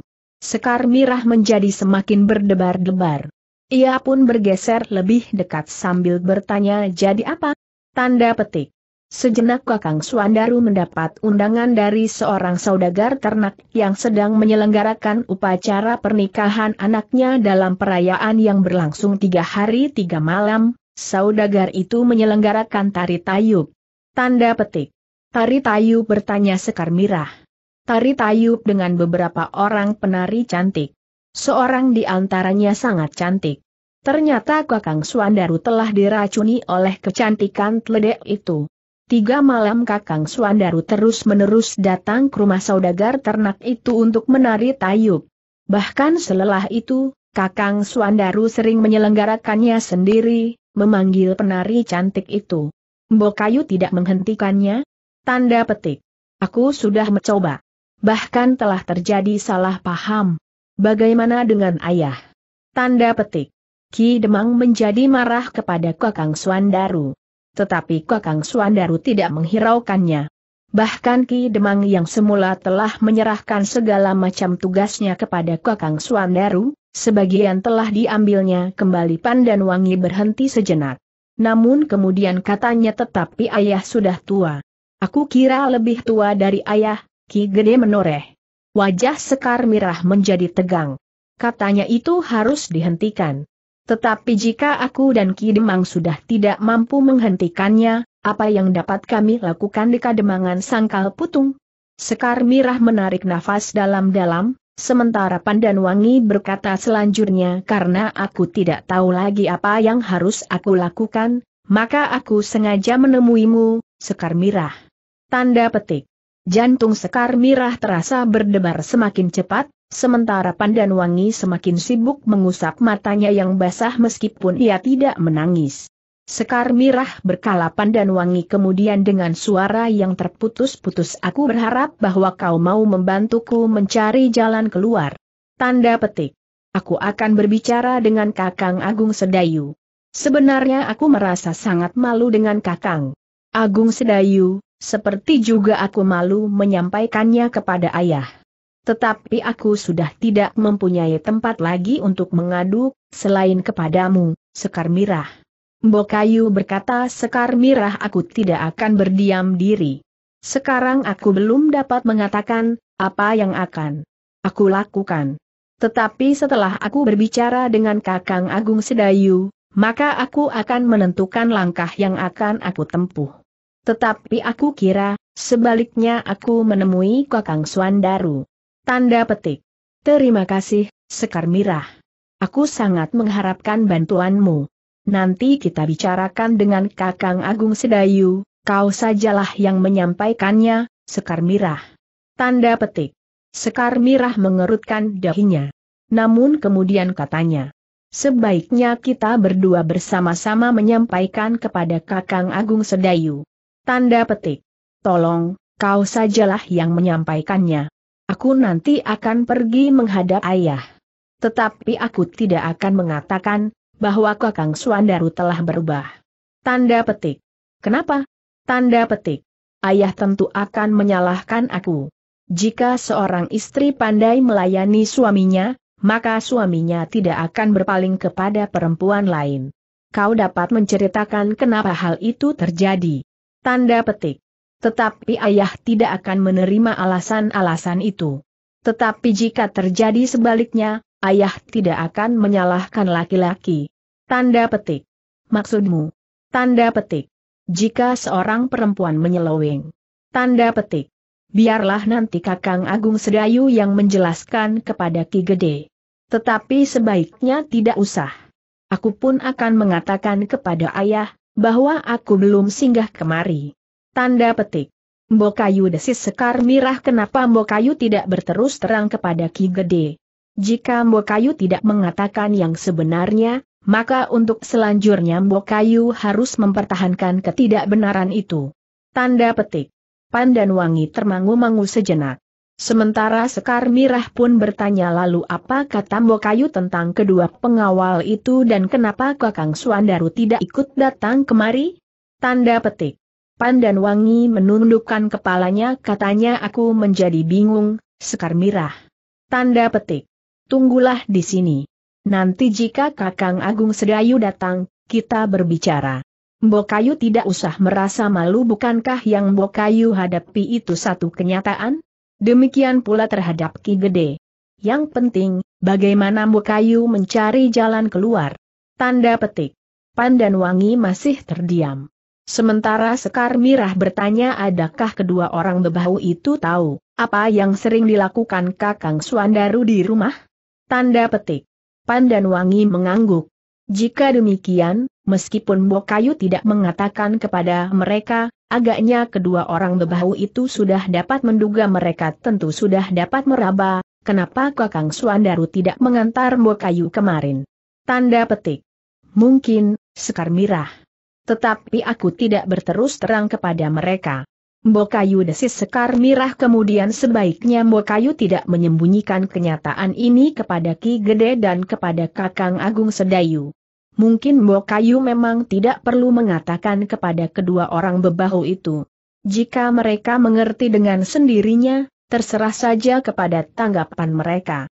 Agaknya seluruh kademangan menjadi kecewa terhadap sikap Kakang Suandaru. Tetapi ada juga segolongan orang yang ingin mencari keuntungan dengan perubahan sikap yang terjadi pada Kakang Suandaru itu. Mereka adalah orang-orang yang selalu datang ke rumah, ikut dalam penyelenggaraan tayub, minum tuak, mabuk dan akhirnya mereka tenggelam dalam kehangatan sikap para penari itu. Tanda petik. Bokayu. Di sini juga sering ada pertunjukan tayub dengan penari-penari cantik. Tetapi akibatnya tidak seburuk yang Bokayu katakan. Memang tidak semua penari tayu berkelakuan buruk seperti yang sering dipanggil Kakang Suandaru itu, Sekar Mirah. Aku tahu. Tetapi demikianlah yang terjadi dengan Kakang Suandaru. Tanda petik. Sudahlah, Bokayu. Sebaiknya Bokayu menunggu Kakang Agung Sedayu. Tanda petik. Pandan Wangi termangu-mangu sejenak. Namun kemudian ia pun berkata baiklah. Aku akan menunggu Kakang Agung Sedayu. Tanda petik. Sekarang, silahkan Bukayu beristirahat di dalam bilik itu. Bilik itu baru saja ditinggalkan penghuninya siapa? Ki Wijil dan Nyi Wijil. Dua orang berilmu tinggi yang telah membantu tanah perdikan ini melawan orang-orang yang berniat merebut tanah perdikan ini. Mereka berniat menyusun landasan yang KUAT untuk meloncat ke Mataram. Titik koma. Pandan Wangi mengangguk-angguk katanya jika Saka aku berada di sini waktu itu. Tanda petik. Nyi Wijil ternyata memiliki ciri-ciri Sri Gunting Kuning. Tetapi ia bukan Sri Gunting Kuning yang terkenal di pesisir utara. Nyi Wijil justru berusaha memperbaiki citra Sri Gunting Kuning. Tetapi orang banyak sudah terlanjur membedakan antara seri gunting kuning yang hitam dan seri gunting kuning yang putih. Tanda petik. Pandan Wangi mengangguk-angguk. Katanya terima kasih, Sekar Mirah. Aku akan berganti pakaian saja pakaian khusus ini hanya pantas dipakai dalam perjalanan berkuda. Tanda petik. Silahkan Mokayu. Tanda petik. Dalam pada itu, Empu Sanata dan Ki Raga telah berada di peringgitan pula menemui kedua orang bebahu kademangan sangkal putung. Justru gelagah putihlah yang telah meninggalkan peringgitan. Ia masih mempunyai kewajiban mengisi jambangan pakiwan. Sementara Sukra mengisi gentong di dapur. Kedua bebahu yang menemani Pandan Wangi itu pun telah mendengarkan cerita tentang perang yang baru saja terjadi di tanah perdikari menoreh dari Sabung Sari. Sekali-sekali Ki Raga dan Empu Sanata pun telah melengkapinya. Yang terjadi adalah perang yang besar desis bebahu itu. Kami memang harus mengerahkan segenap kekuatan untuk menghadapinya. Bahkan Mataram telah memerintahkan prajurit Mataram yang berada di Ganjur untuk membantu kami di sini di samping prajurit Mataram yang memang sudah berada di tanah perdikan ini. Kedua bebahu itu mengangguk-angguk. Seorang di antara mereka berkata peristiwa seperti ini pernah terjadi juga di Sangkal Putung, ketika Toh Pati yang digelari Macan Kepatihan berusaha merebut Sangkal Putung yang subur untuk dijadikan landasan perjuangan mereka selanjutnya. Yang lain pun kemudian meneruskan waktu itu pasukan Pajang yang dipimpin oleh Ki Widura dan Ki Untara telah berada di Kademangan Sangkal Putung pula. Yang mendengarkan cerita itu mengangguk-angguk. Namun seorang dari bebahu itu bertanya apakah tanah perdikan tidak memperhitungkan kemungkinan mereka akan datang kembali? Memang mungkin jawab Ki Jayaraga tetapi tentu tidak untuk waktu yang singkat. Mereka telah dihancurkan. Di antara mereka banyak yang tertangkap dan menyerah. Namun untuk jangka waktu yang panjang kemungkinan itu memang ada. Namun pembicaraan mereka terputus ketika Pandan Wangi dan Sekar Mirah keluar lewat pintu peringgitan dan duduk pula di antara mereka Pandan Wangi telah berganti pakaian. Meskipun agak ragu Pandan Wangi itu pun berkata kakang berdua. Aku masih menunggu kakang Agung Sedayu. Aku mohon kakang berdua untuk tinggal di sini sampai besok. Jadi kami harus bermalam di sini Nyi? Sebaiknya begitu. Jika kalian pulang hari ini, selain kuda kalian masih lelah, kalian pun akan kemalaman di jalan. Bukankah lebih baik bermalam di sini daripada bermalam di jalan meskipun kalian berdua dapat saja bermalam di banjar padukuhan yang kalian lewati atau berjalan terus meskipun sampai lewat tengah malam?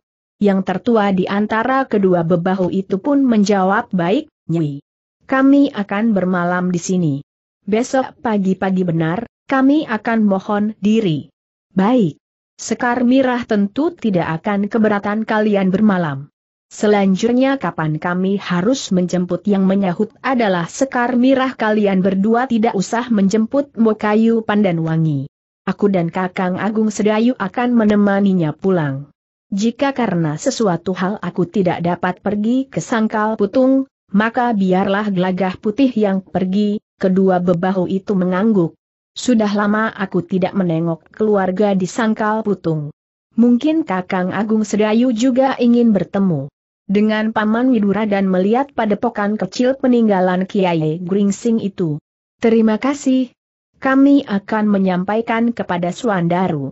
Terima kasih desis Sekar Mirah adalah di luar sadarnya jika salah seorang dari kedua orang bebahu kademangan sangkal putung itu bergumam seolah-olah kepada diri sendiri memang ada baiknya Nyi Lurah pergi ke sangkal putung. Orang itu justru tergagap. Namun kemudian jawabnya bukankah Nyi Lurah sudah agak lama tidak menengok keluarga di sangkal putung tanda tanya. Sekar Mirah menarik nafas panjang tetapi ia dapat menangkap apa yang tersirat dari gumam bebahu itu.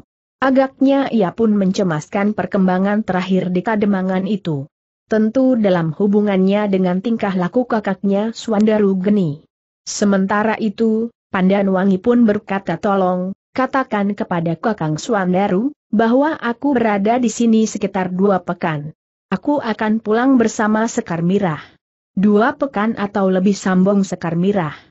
Tetapi Pandan Wangi tersenyum, meskipun terasa senyumnya masam.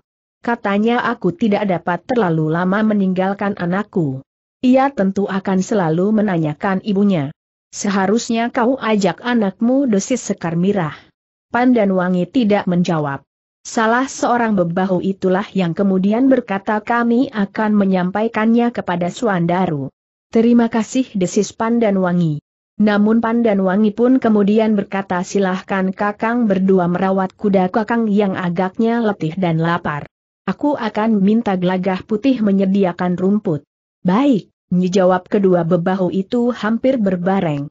Sementara Sabung Sari pun berkata aku akan memanggil gelagah putih. Sukra akan dapat menghubungi orang yang setiap hari mencari rumput untuk kuda-kuda kami di sini. Aku akan menunggu Kakang Agung Sedayu di sini berkata Pandan Wangi kemudian. Kedua orang bebahu itu pun segera turun ke halaman bersama Sabung Sari yang kemudian menuntun kuda Pandan Wangi ke belakang. Sementara kedua orang bebahu itu telah menuntun kuda mereka masing-masing. Gelagah putih dan Sukra yang kemudian dipanggil telah membantu kedua bebahu itu merawat kuda mereka. Sementara gelagah putih pun berkata kepada Sukra kau nanti pergi ke rumah, Ija katakan bahwa kita membutuhkan rumput lebih banyak. Biarlah Ija mengajak Ganggeng mencari rumput. Dalam pada itu, kedua bebahu itu merasa lebih bebas berada di belakang bersama gelagah putih dan sabung sari daripada duduk di pendapa. Sementara itu Rara Wulan telah diminta untuk membersihkan bilik di gandok kiri bagi kedua bebahu yang mengantar Pandan Wangi dan akan bermalam semalam di rumah itu. Sedangkan Sekar Mirah dan Nyiduani sibuk menyiapkan makan bagi tamu-tamu mereka. Sambil menunggu kedatangan Agung Sedayu, maka Sekar Mirah telah mempersilahkan Pandan Wangi dan kedua orang bebahu yang mengantarkannya itu makan di ruang dalam. Ketika matahari kemudian menjadi semakin rendah, maka Agung Sedayu pun pulang dari barak. Seperti Sekar Mirah ketika melihat kedatangan Pandan Wangi, maka Agung Sedayu pun terkejut pula ketika ia melihat Pandan Wangi duduk di ruang dalam rumahnya bersama dua orang bebahu. Sejak mereka selesai makan, mereka masih duduk di ruang dalam bersama dengan Sekar Mirah. Dari mereka Sekar Mirah mendengar perkembangan terakhir kademangannya tanpa menyinggung tingkah laku Suandaru di saat-saat terakhir. Pandan Wangi desis Agung Sedayu. Hampir saja Pandan Wangi tidak dapat mempertahankan air di matanya yang akan tumpah meskipun tenggorokannya serasa tersumbat, tetapi Pandan Wangi tidak menangis. Ia hanya bangkit berdiri termangu-mangu. Sementara kedua orang bebahu yang mengantarkannya itu bangkit berdiri pula. Silahkan duduk Agung Sedayu mempersilahkan. Sejenak kemudian mereka telah duduk kembali di ruang dalam. Dengan ragu Agung Sedayu pun bertanya di mana Adi Swandaru? Tanda petik. Kakang Swandaru tidak dapat ikut datang kemari, Kakang. Kakang Swandaru baru sibuk sekali. Ada beberapa tugas yang tidak dapat ditinggalkannya. Oh Agung Sedayu mengangguk-angguk. Namun terasa sesuatu berdesir di dadanya. Sebelum Agung Sedayu bertanya lebih lanjut, maka Pandan Wangi itu pun berkata Kakang. Aku telah mendengar bahwa telah terjadi perang di tanah perdikan ini. Agung Sedayu mengangguk sambil menjawab ya. Beberapa waktu yang lalu. Tanda petik. Aku sudah mendengar banyak dari Sekar Mirah Pandan Wangi berhenti sejenak. Lalu katanya pula kabar tentang perang itu telah menggelisahkan aku. Karena itu, aku datang untuk melihat apa yang sebenarnya telah terjadi di sini. Tanda petik. Kami memang harus mengerahkan tenaga dan kemampuan untuk memenangkan perang itu. Tanda petik. Aku tidak berani langsung menghadap ayah. Aku tidak ingin terkejut jika ada kabar yang kurang menyenangkan karena itu, aku langsung datang kemari. Baru nanti aku menghadap ayah. Setelah aku mendengar kabar tentang perang yang terjadi, maka aku tidak lagi merasa cemas untuk datang mengunjungi ayah. Tanda petik. Nanti kami antar kau pergi menghadap Ki Gede berkata Sekar Mirah. Ya sebentar lagi, setelah aku mandi. Aku tidak tergesa-gesa kakang. Mungkin kakang perlu beristirahat. Nanti lewat senja sajalah kita pergi sahut Pandan Wangi. Agung Sedayu mengangguk-angguk. Tetapi ia mulai merasakan, bahwa ada sesuatu yang kurang wajar terjadi pada Pandan Wangi. Dalam pada itu, kedua orang bebahu yang mengantar Pandan Wangi setelah berbicara beberapa patah kata dengan Agung Sedayu, maka yang seorang di antara mereka pun berkata maaf, Kilurah. Perkenankan kami duduk di luar saja. Udaranya terasa agak panas di sini. Titik. Agung Sedayu pun segera tanggap. Katanya baiklah. Silahkan. Biarlah gelagah putih menemani kalian. Tanda petik. Terima kasih Kilurah. Kamilah yang justru akan pergi ke kandang. Oh, silahkan. Tanda petik. Kedua orang bebahu itu pun segera keluar dari ruang dalam. Mereka bahkan langsung turun ke halaman dan pergi ke belakang. Sementara gelagah putih, Sukra dan Sabung Sari masih berada di kandang. Di ruang dalam, Sekar Merahlah yang mulai membuka pembicaraan dengan Agung Sedayu Kakang, sebenarnya lah ada hal yang penting yang akan disampaikan oleh Mbokayu Pandanwangi. Tanda petik. Barangkali Kakang Agung Sedayu akan beristirahat lebih dahulu desis Pandan Wangi. Aku tidak letih Pandan Wangi. Katakan.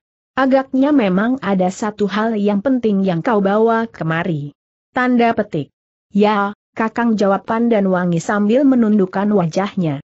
Agung Sedayu tidak memotong kata-kata Pandan Wangi. Tetapi ia menunggu dengan sabar, sementara dada Pandan Wangi terasa bagaikan bergejolak. Kakang berkata Pandan Wangi kemudian. Agung Sedayu mengerutkan dahinya. Kakang Swandaru sekarang telah berubah. Apa yang berubah? Pandan Wangi pun kemudian menceritakan kembali apa yang sudah diceritakannya kepada Sekar Mirah. Dengan suara yang tersendat ia pun berkata aku dan Ki Demang Sangkal Putung sudah tidak mampu lagi berbuat apa-apa. Karena itu, aku datang kemari. Mungkin Kakang Agung Sedayu dan Sekar Merah masih mempunyai pengaruh terhadap Kakang Swandaru. Agung Sedayu mengangguk-angguk. Katanya jika demikian aku harus menemui Adi Swandaru. Ya, agaknya memang demikian sahut Pandan Wangi. Baiklah. Aku dan Sekar Mirah akan pergi ke Sangkal. Putung. Tetapi segala sesuatunya masih menunggu isyarat dari Ki Gede. Aku masih saja ragu-ragu. Apakah aku harus menyampaikannya kepada ayah atau tidak? Sebaiknya kau beritahu Ki Gede, agar Ki Gede dapat mengetahui keadaan keluargamu yang sebenarnya jika Ki Gede tidak mengetahuinya tetapi tiba-tiba ia dihadapkan pada satu kenyataan yang tidak diinginkannya Ki Gede akan menjadi sangat terkejut. Karena itu, biarlah Ki Gede mengetahui sejak awal. Ki Gede tentu akan sangat bergembira jika persoalan ini kemudian dapat dipecahkan dan dapat diatasi. Pandan Wangi nampak ragu-ragu. Dengan nada rendah Sekar Mirah pun berkata jangankah sembunyikan persoalanmu itu di hadapan Ki Gede, Bokayu. Sudah aku katakan, ayah tentu akan menyalahkan aku, tetapi kau dapat mengatakan apa adanya. Tanpa dikurangi tanpa ditambahi. Apa pun tanggapan Ki Gede, tetapi kau sudah tidak menyembunyikan apa-apa lagi. Pandan Wangi memandang Sekar Mirah dengan sorot metu yang dimuati oleh kebimbangan hatinya.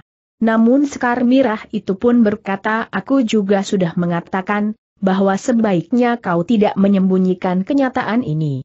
Baiklah berkata Pandan Wangi nanti aku akan menyampaikannya kepada ayah. Baiklah. Sekarang, aku akan ke Pakiwan. Nanti kita pergi ke rumah Ki Gede. Demikianlah lepas senja, Agung Sedayu dan Sekar Mirah mengantar Pandan Wangi pergi menghadap Ki Gede menoreh. Pandan Wangi minta kedua bebahu yang menemaninya ke tanah perdikan untuk tinggal di rumah Agung Sedayu. Jika nanti aku tidak kembali kemari, maka besok pagi-pagi sebelum berangkat kembali ke Sangkal Putung, kalian hendaknya singgah dahulu di rumah Ki Gede pesan Pandan Wangi. Kedua bebahu itu tidak bertanya lebih jauh. Mereka mengerti bahwa Pandan Wangi sedang dicekam oleh kegelisahan karena tingkah laku suaminya. Kedatangan Pandan Wangi bersama Agung Sedayu dan Sekar Mirah telah mengejutkan Ki Gede. Demikian mereka duduk di ruang dalam, Ki Gede pun langsung bertanya jadi kau langsung pergi ke rumah Ki Lurah Agung Sedayu? Ya ayah. Aku ingin segera bertemu dan berbicara dengan Sekar Mirah. Kau sendiri? Dua orang bebahu sangkal putung menemani aku sepanjang perjalanan. Maksudku, suamimu. Kakang Suandaru tidak dapat mengantarkan aku, sebagai orang tua, Ki Gede langsung dapat menebak bahwa keluarga anaknya sedang diliputi oleh mendung yang kelabu. Tetapi Ki Gede tidak ingin mendahului mempertanyakan persoalan yang sebenarnya. Yang ditanyakan kemudian adalah justru keadaan dan kesehatan keluarga di Sangkal Putung. Baik, ayah. Semuanya sehat-sehat saja. Bagaimana dengan cucuku? Sebenarnya aku ingin mendukungnya seharusnya kau bawa anakmu itu kemari. Aku sudah merencanakannya ayah. Tetapi aku belum sempat lain kali aku akan mengajaknya kemari. Ki Gede tersenyum. Katanya menunggu kalau anak itu sudah pandai naik kuda sendiri. Ah, ayah desis Pandan Wangi. Pandan Wangi pun mencoba untuk tersenyum. Tetapi senyumnya terasa hambar sekali. Namun akhirnya Ki Gede itu pun bertanya apakah suamimu sibuk sekali, sehingga tidak dapat mengantarmu kemari? Ya, ayah. Akulah yang tidak sabar. Ketika aku mendengar kabar bahwa telah terjadi perang di tanah perdikan ini, maka aku segera ingin melihatnya aku sudah menunda keberangkatan karena Kakang Suandaru sedang sibuk. Tetapi akhirnya aku tidak dapat menundanya lagi. Apa saja kesibukan suamimu sehingga ia membiarkan kau pergi sendiri meskipun bersama dua orang bebahu? Ketika Pandan Wangi mendengar pertanyaan yang sama dari Sekar Mirah dan dari Agung Sedayu, Pandan Wangi masih dapat menahan gejolak perasaannya tetapi ketika hal itu ditanyakan oleh ayahnya maka jantungnya terasa berdenyut semakin cepat. Matanya menjadi panas dan kerongkongannya bagaikan tersembut. Bagaimanapun juga Pandan Wangi bertahan, namun dari kedua matanya telah meleleh air matanya. Pandan Wangi berkata ayahnya aku tahu. Tentu telah timbul persoalan di dalam keluargamu. Nah, katakan. Pandan Wangi terdiam sesaat. Dengan susah payah ia bertahan agar tangisnya tidak terhambur keluar. Ah matanya agar tidak meluncur dengan derasnya seperti bendungan pecah. Dengan sendat, Pandan Wangi itu pun kemudian menceritakan apa yang telah terjadi pada keluarganya. Jadi Suandaru tidak lagi mempedulikanmu lagi?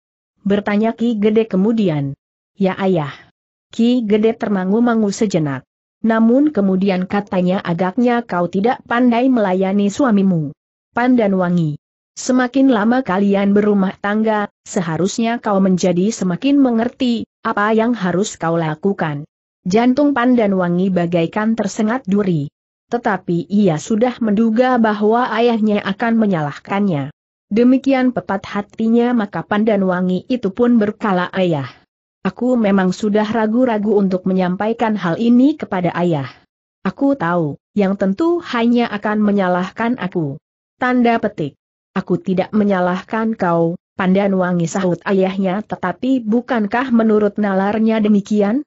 Jika kau dapat membuat hati suamimu cerah, maka keluargamu pun akan menjadi cerah. Suamimu tidak akan berpaling kepada perempuan yang mana pun, secantik apa pun. Mungkin seorang laki-laki dapat saja mengagumi kecantikan perempuan. Tetapi tidak lebih daripada mengagumi keindahan yang lain bunga pemandangan, warna-warna yang digelar di atas cakrawala. Tanda petik. Ki Gede Sekar Mirah memberanikan diri menyela aku mohon maaf, jika aku mencampuri pembicaraan ini, karena aku juga seorang perempuan. Tanda petik. Bagaimana menurut Nyilurah? Tanda petik. Bunga yang indah, pemandangan, gunung dan matahan terbit serta warna-warna yang digelar di Cakrawala adalah keindahan alam yang menunggu untuk dikagumi. Tetapi perempuan akan berbuat lebih dari itu. Bahkan ada perempuan yang dengan sengaja telah menggoda mereka dengan sengaja memanasi hati seorang laki-laki yang dikehendaki. Mungkin karena orang itu berpangkat, kaya dan berkedudukan dan disegani banyak orang perempuan yang demikian tidak lagi menghiraukan tatanan kehidupan yang berlaku. Ia tidak menghiraukan lagi apakah laki-laki yang diingininya itu sudah beristri atau belum. Yang penting keinginannya dapat dicapainya dengan segala macam cara. Tanda petik. Aku mengerti. Nyai Lurah, tetapi jika seorang istri dapat mendudukan dirinya tepat pada yang sebenarnya, maka godaan yang demikian itu tidak akan dapat menyeretnya ke dalam jalan yang sesat. Ayah Pandanwangi menjadi semakin sulit menahan tangisnya apakah demikian juga jika terjadi sebaliknya? Apakah salah laki-laki jika seorang istri berpaling dari suaminya? Wajah Ki Gede menegang. Namun Agung Sedayu pun kemudian berkata Ki Gede. Pandanwangi datang menghadap Ki Gede untuk mohon petunjuk apakah yang sebaiknya dilakukan? Tanda petik. Ki Gede termangu-mangu sejenak. Katanya tidak baik lagi seorang istri yang lari dari rumahnya pulang ke rumah orang tuanya riak-riak kecil seperti itu adalah wajar sekali terjadi dalam masa perkawinan. Sebentar lagi segala sesuatunya akan kembali seperti semula karena itu, aku justru ingin minta kepada Pandanwangi, jangan terlalu lama berada di tanah perdikan sebaiknya kau segera kembali. Jika suaminya itu tenggelam dalam satu kehidupan yang liar, tanpa kau di rumah, maka ia akan menjadi semakin tidak terkendali.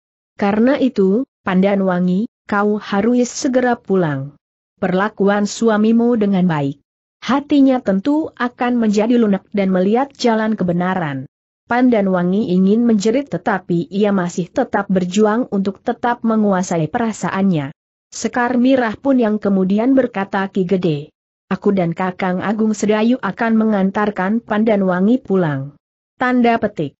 Nyai Lurah berkata Ki Gede dengan nada rendah aku adalah orang tua karena itu, maka aku wajib memperingatkan.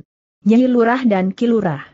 Sebaiknya kalian berdua tidak mencampuri persoalan yang terjadi dalam keluarga Pandan Wangi. Tanda petik. Tetapi Sekar Mirah dengan cepat menyahut maaf, Ki Gede Kakang Suandaru adalah kakak kandungku. Aku mempunyai kewajiban untuk membantunya menemukan kembali ketenangan hidup dalam keluarganya. Aku dapat berbicara dengan Kakang Suandaru dan ayah karena aku adalah bagian dari darah daging mereka. Sementara itu Suandaru adalah adik seperguruanku, Ki Gede. Aku pun mempunyai kewajiban untuk memperingatkannya. Meskipun hubunganku dengan Adi Suandaru tidak serapat hubungannya dengan Sekar Mirah, namun aku berhak pula untuk berbicara dengan adik seperguruanku itu. Ki Gede menarik nafas dalam-dalam. Namun kemudian ia pun mengangguk-angguk sambil berkata baiklah. Kalian memang berhak berbicara dengan Angger Suandaru. Tetapi aku mohon, kalian tidak terlalu dalam mencampuri persoalan rumah tangga Pandan Wangi. Sebaiknya Pandan Wangi sendiri menyelesaikan persoalannya dengan suaminya. Tetapi Pandan Wangi menggeleng. Sambil menahan tangisnya dengan susah payah ia berkata patah-patah aku sudah tidak sanggup lagi ayah. Aku pasrah jika ayah menganggap bahwa aku yang bersalah. Sejak tadi aku katakan, bahwa aku tidak menyalahkanmu, Pandan Wangi. Tetapi sebaiknya kau berani melihat ke dalam dirimu sendiri. Apakah masih ada yang kurang? Jika yang kurang itu kemudian dapat kau isi, maka aku yakin bahwa keluargamu akan segera pulih kembali. Dan bahkan seperti tanaman yang baru saja dirabuk. Cinta dan kesetiaan kalian akan semakin berkembang. Tanda petik. Baik ayah. Aku akari melihat ke dalam diriku sendiri. Aku akan mencari, yang manakah yang masih kurang sesuai dengan keinginan Kakang Swandaru. Mungkin aku harus belajar menjadi teledek tayub. Kau salah paham, Pandan wangi desis ayahnya Ki Gede berkata Sekar Mirah yang juga seorang. Perempuan mungkin kita memang harus membedakan, apakah yang sekarang menyala di hati Kakang Suandaru itu karena cintanya kepada Mokayu Pandan Wangi sudah kering, atau sekedar hatinya dibakar oleh nafsu. Tanda petik. Ki Gede menarik nafas dalam-dalam. Katanya Nyilurah. Agaknya memang ada baiknya Nyi Lurah dan Ki Lurah pergi menemani Pandan Wangi pulang ke Sangkal Putung lalu Ki Gede pun bertanya kepada Pandan Wangi kapan kau akan pulang Pandan Wangi? Tanda petik. Aku ingin menenangkan hatiku lebih dahulu di sini ayah. Mungkin dua atau tiga pekan. Tanda petik. Ki Gede terkejut katanya begitu lama. Aku kira kau hanya akan tinggal satu atau dua malam saja di sini, Pandan Wangi. Bagaimana dengan anakmu dan seperti aku katakan, semakin lama kau tinggalkan suamimu, maka ia akan merasa semakin bebas. Ikatan di antara kalian akan menjadi semakin kendor. Tanda petik. Pandan Wangi termangu-mangu. Kata-kata ayahnya itu memang ada benarnya. Semakin lama ia pergi, maka Suandaru akan menjadi semakin gila. Karena itu, maka ia pun menjawab aku akan mempertimbangkannya kembali ayah. Mungkin dua hari, mungkin tiga hari lagi aku akan pulang. Ki Gede mengangguk-angguk. Katanya baiklah. Kau dapat mempergunakan waktumu yang dua atau tiga nan itu untuk benar-benar beristirahat lahir dan batin di sini. Biarlah bilik bagimu disediakan. Bilikmu dahulu. Tanda petik. Tidak usah, ayah. Aku akan tidur di rumah Sekar Mirah. Ki Gede terkejut. Hampir di luar sadarnya ia pun bertanya. Apa maksudmu, Pandan Wangi? Tanda petik. Aku ingin mempunyai kawan berbincang seorang perempuan. Seorang perempuan yang mengerti tentang diriku dan memberikan pengharapan untuk dapat mengekang tingkah laku Kakang Swandaru. Tanda petik. Di sini juga ada beberapa orang perempuan yang dapat menemanimu, Pandan Wangi. Mereka tidak akan dapat memberikan pertimbangan dengan jujur. Mereka tentu lebih banyak mengiyakan kata-kataku, atau mengulang-ulang pendapat Tayah bahwa aku harus mawas diri dan memberikan pelayanan lebih baik kepada Kakang Suandaru tanpa mempertimbangkan tingkah laku serta pengaruh yang sedang mencengkamnya. Ki Gede menarik nafas dalam-dalam. Ia sadar bahwa sikapnya telah sangat mengecewakan Pandan Wangi. Karena itu ia tidak ingin semakin mengecewakannya. Katanya baiklah Pandan Wangi. Jika itu yang kau anggap terbaik di hari-hari istirahatmu ini.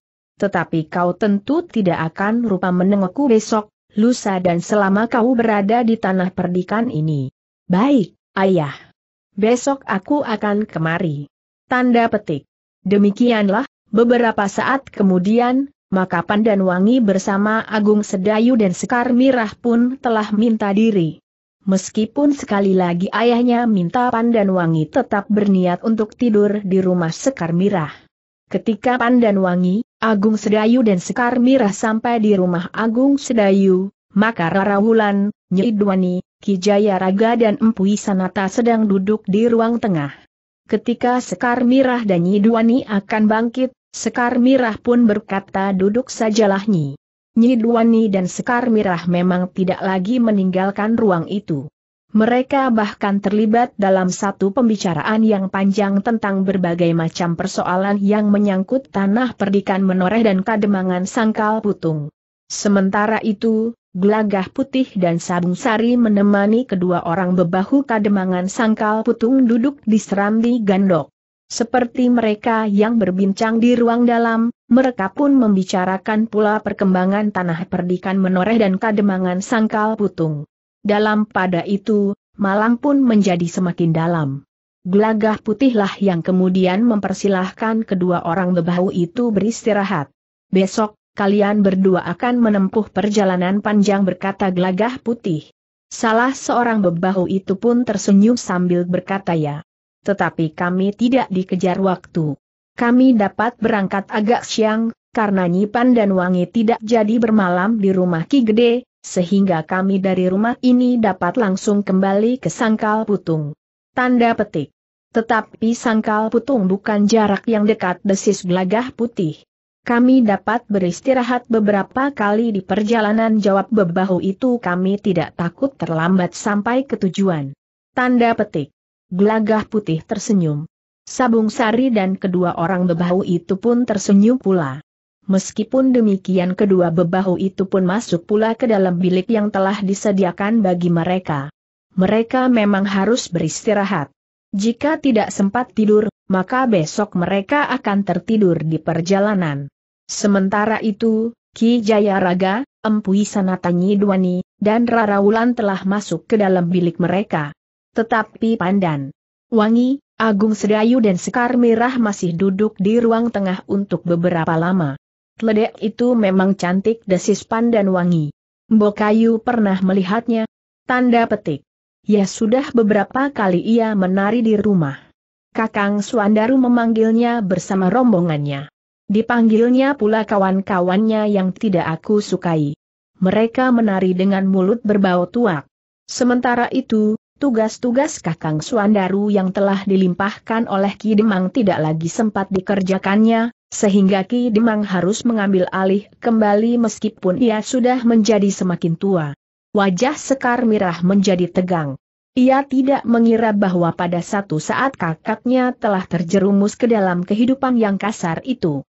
Karena itu, maka Sekar Mirah itu sudah bertekad untuk pergi menemui kakaknya meskipun ia lebih muda dari Swandaru, tetapi Sekar Mirah merasa berkewajiban untuk meluruskan jalan kakaknya yang sesal itu.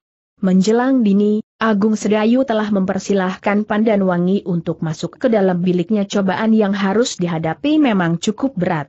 Di pagi hari berikutnya ketika Agung Sedayu siap pergi ke barak, kedua orang bebahu dari Sangkal Putung telah siap untuk berangkat pula setelah minta diri kepada semua penghuni di rumah Agung Sedayu, maka kedua orang bebahu itu pun menuntun kudanya ke regol halaman rumah Agung Sedayu bersama-sama dengan Agung Sedayu.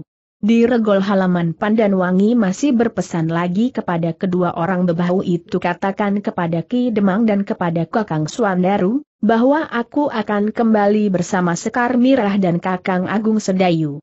Kapan ini? Bertanya salah seorang bebahu. Katakan, aku akan beristirahat di tanah perdikan. Menoreh. Tanda petik. Kedua bebahu itu mengangguk. Sekali lagi mereka minta diri dan sejenak kemudian bersama-sama Agung Sedayu mereka melarikan kuda mereka tidak terlalu cepat menyusuri jalan padukuhan induk tanah perdikan menoreh. Ketika keduanya bersama dengan Agung Sedayu keluar dari gerbang padukuhan, seorang di antara mereka berkata Suandaru memang telah tergelincir ke dunia yang keruh. Tanda petik. Agung Sedayu mengangguk-angguk. Dengan nada dalam ia pun bertanya apakah Adi Suandaru telah melupakan kewajiban-kewajibannya? Baik sebagai anak seorang demang yang sudah dipersiapkan untuk mengganti kedudukan ayahnya, maupun sebagai seorang suami dan seorang ayah? Tanda petik. Ya nampaknya memang demikian. Hampir setiap hari Ki Demang marah-marah. Hampir setiap hari pula Suandaru dan istrinya bertengkar. Akibatnya memang buruk bukan saja bagi keluarga Ki Demang, tetapi juga bagi wibawa Ki Demang dan Suandaru sendiri. Siapa saja kawan-kawan Adi Suandaru yang sering ikut bermabuk-mabukan serta menari tayuk? Sebagian juga orang-orang sangkal putung. Sebagian lagi orang-orang yang tidak kami kenal. Tanda petik. Sayang sekali sangkal putung yang telah tumbuh dengan baik harus mengalami kemunduran. Kemunduran yang jauh, kilurah. Kademangan-kademangan yang lebih kecil kini mulai meremehkan sangkal putung. Para pengawal kademangan tidak lagi menunjukkan keperkasaannya, karena sebagian besar dari mereka menjadi sangat gelisah, kecewa dan akhirnya tidak peduli lagi. Yang memprihatinkan, ada di antara para pemimpin pengawal tanah. Perdikan yang semula dikenal tangguh dan berjiwa kokoh, telah ikut terseret dalam arus kehidupan yang mencemaskan itu. Sementara itu, agaknya tidak ada lagi orang yang sanggup menghentikannya. Agung Sedayu menarik nafas dalam-dalam. Ia menjadi benar-benar khawatir. Jika tingkah laku Suandaru itu berkepanjangan, maka sangkal putung benar-benar akan kehilangan masa depannya. Kademangan itu tidak akan dihargai lagi oleh kademangan-kademangan tetangganya. Baiklah berkata Agung Sedayu aku akan menemui Adi Suandaru. Aku akan mencoba untuk memperingatkannya. Jika bukan aku, biarlah Sekar Mirah mencobanya. Ya, Kilurah rakyat Sangkal Putung sangat mengharapkan, Ki Demang rasa-rasanya sudah tidak sanggup lagi mengendalikannya sedap kali Suandaru beralasan, bahwa ia sudah bukan anak-anak lagi. Ia sudah menjadi orang yang mempunyai wewenang atas dirinya sendiri. Bahkan ketika Ki Demang mencabut beberapa wewenang yang telah diberikan kepada Suandaru, Suandaru tidak menghiraukannya. Namun mereka tidak dapat berbincang lebih panjang mereka telah sampai di sebuah jalan simpang sehingga mereka harus berpisah. Arah perjalanan kedua orang bebahu sangkal putung itu berbeda dengan arah perjalanan Agung Sedayu. Sampai jumpa Kisanak berkata Agung Sedayu. Sampai jumpa Ki Lurah. Kami menunggu kedatangan Ki. Lurah dan Nyi Lurah di sangkal putung. Mudah-mudahan kedatangan Ki Lurah akan dapat membawa perubahan bagi tatanan kehidupan kademangan kami yang sudah diracuni oleh kehidupan malam yang kotor itu. Kami akan berusaha secepatnya, Kisanak. Tetapi kami tidak dapat memaksa Pandan Wangi untuk segera pulang jika ia masih ingin tinggal di sini beberapa hari. Bebahu itu tersenyum. Katanya ya, Nyi Pandan Wangi memang sangat tertekan kepada kami Nyi Pandan Wangi tidak mengatakan, bahwa ia mempunyai persoalan dengan Suandaru. Tetapi Nyi Pandan Wangi mengatakan bahwa ia ingin melihat akibat dari perang yang baru saja terjadi di tanah perdikan ini. Ya, Pandan Wangi juga mengatakan begitu. Tetapi Pandan Wangi pun sudah tahu, bahwa sebenarnya kalian mengetahui keperluan Pandan Wangi yang sebenarnya. Baiklah, Ki Lurah berkata salah seorang dari kedua bebahu itu mudah-mudahan kedatangan Ki Lurah dan Nyi Lurah dapat merubah suasana itu. Kami hanya dapat berusaha, Ki Sanak. Demikianlah, maka kedua orang bebahu itu pun segera mengambil jalan simpang menuju ke penyeberangan untuk melintasi kali Praga menuju ke Sangkal Puntung, sementara Agung Sedayu melanjutkan perjalanannya ke baraknya. Barak titik prajurit dari pasukan khusus Mataram yang berada di tanah perdikan menoreh. Namun sehari-harian, Agung Sedayu tidak dapat melepaskan ingatannya kepada Suandaru. Di baraknya, Agung Sedayu agak terlalu banyak merenung di bilik khususnya. Beberapa orang pembantunya hanya dapat menduga-duga bahwa agaknya ada sesuatu yang sedang dipikirkan oleh Agung Sedayu. Tetapi tidak seorang pun yang menanyakannya. Di rumah, Sekar Mirah juga tidak pergi ke dapur. Nyi Duani dan Rara lah yang sibuk. Pagi-pagi Rara pergi ke pasar untuk berbelanja, sementara Nyi Duani menanak nasi. Kemudian setelah Rara pulang dari pasar, mereka berdua pun segera memasak sayur serta lauk pauknya. Di belakang, gelagah putih dan sabung sari sibuk membelah kayu bakar dengan kapak, sementara Sukra mengisi gentong di dapur. Namun Rara Wulan pun kemudian minta Sukra untuk memetik dua butir kelapa. Bukankah di sudut itu kelapanya yang sejanjang sudah tua? Tanda tanya bertanya Rara Wulan. Aku akan memetiknya semua saja. Tidak hanya dua. Tetapi aku hanya membutuhkan satu. jika kau memetik dua, yang satu butir akan dapat dipergunakan besok. Bukankah besok lusa juga membutuhkan kelapa sahut Sukra tanggung jika aku hanya memetik dua butir, sementara sejanjang semuanya sudah tua hampir kering. Ah, terserah kamu jawab Rara Wulan. Sukra pun pergi ke sudut kebun belakang untuk memetik kelapa. Tetapi seperti yang dikatakannya, ia tidak hanya memetik dua butir, tetapi sejanjang penuh telah dirontokannya. Hanya delapan butir desisnya. Ketika Sukra membawa kelapa itu ke dapur, ia justru berkata di sebelah, ada sejanjang lagi. Biar aku petik sekalian. Buat apa bertanya Rara Wulan? Bukankah Nyi Lurah sering membuat minyak goreng tetapi mbok kayu sekar mirah tentu tidak sempat membuatnya. Bukankah mbok kayu baru menerima tamu? Apakah Nyi Lurah harus menemuinya terus-menerus siang dan malam? SST desis Nyi Duwani tamu itu datang dari jauh. Aku sudah mengerti. Bukankah Nyi Wangi itu anak perempuan Ki Gede? Tetapi kenapa ia bermalam di sini? Tanda tanya desis Sukra. Karena di sini ada kamu sahut Rara Wulan. Sukra mengerutkan dahinya. Namun kemudian sambil bersungut ia meninggalkan dapur. Rara Wulan tersenyum melihat langkah Sukra. Nyi Duani pun tersenyum pula. Sementara gelagah putih pun bertanya ada apa Sukra. Tidak ada apa-apa jawab Sukra tanpa berpaling. Tetapi gelagah putih sudah mengenal Sukra dengan baik. Karena itu, ia tidak tersinggung sama sekali. Bahkan kemudian gelagah putih pun tersenyum sambil berkata hi, kapan kau pergi ke sawah membawa makan dan minum Ki Jaya Raga dan Empu Sanata? Apa yang dibawa? Api baru dinyalakan. Kelapa baru dipetik. Apakah aku harus membawa kelapa sejanjang ke sawah? Gelagah putih tertawa.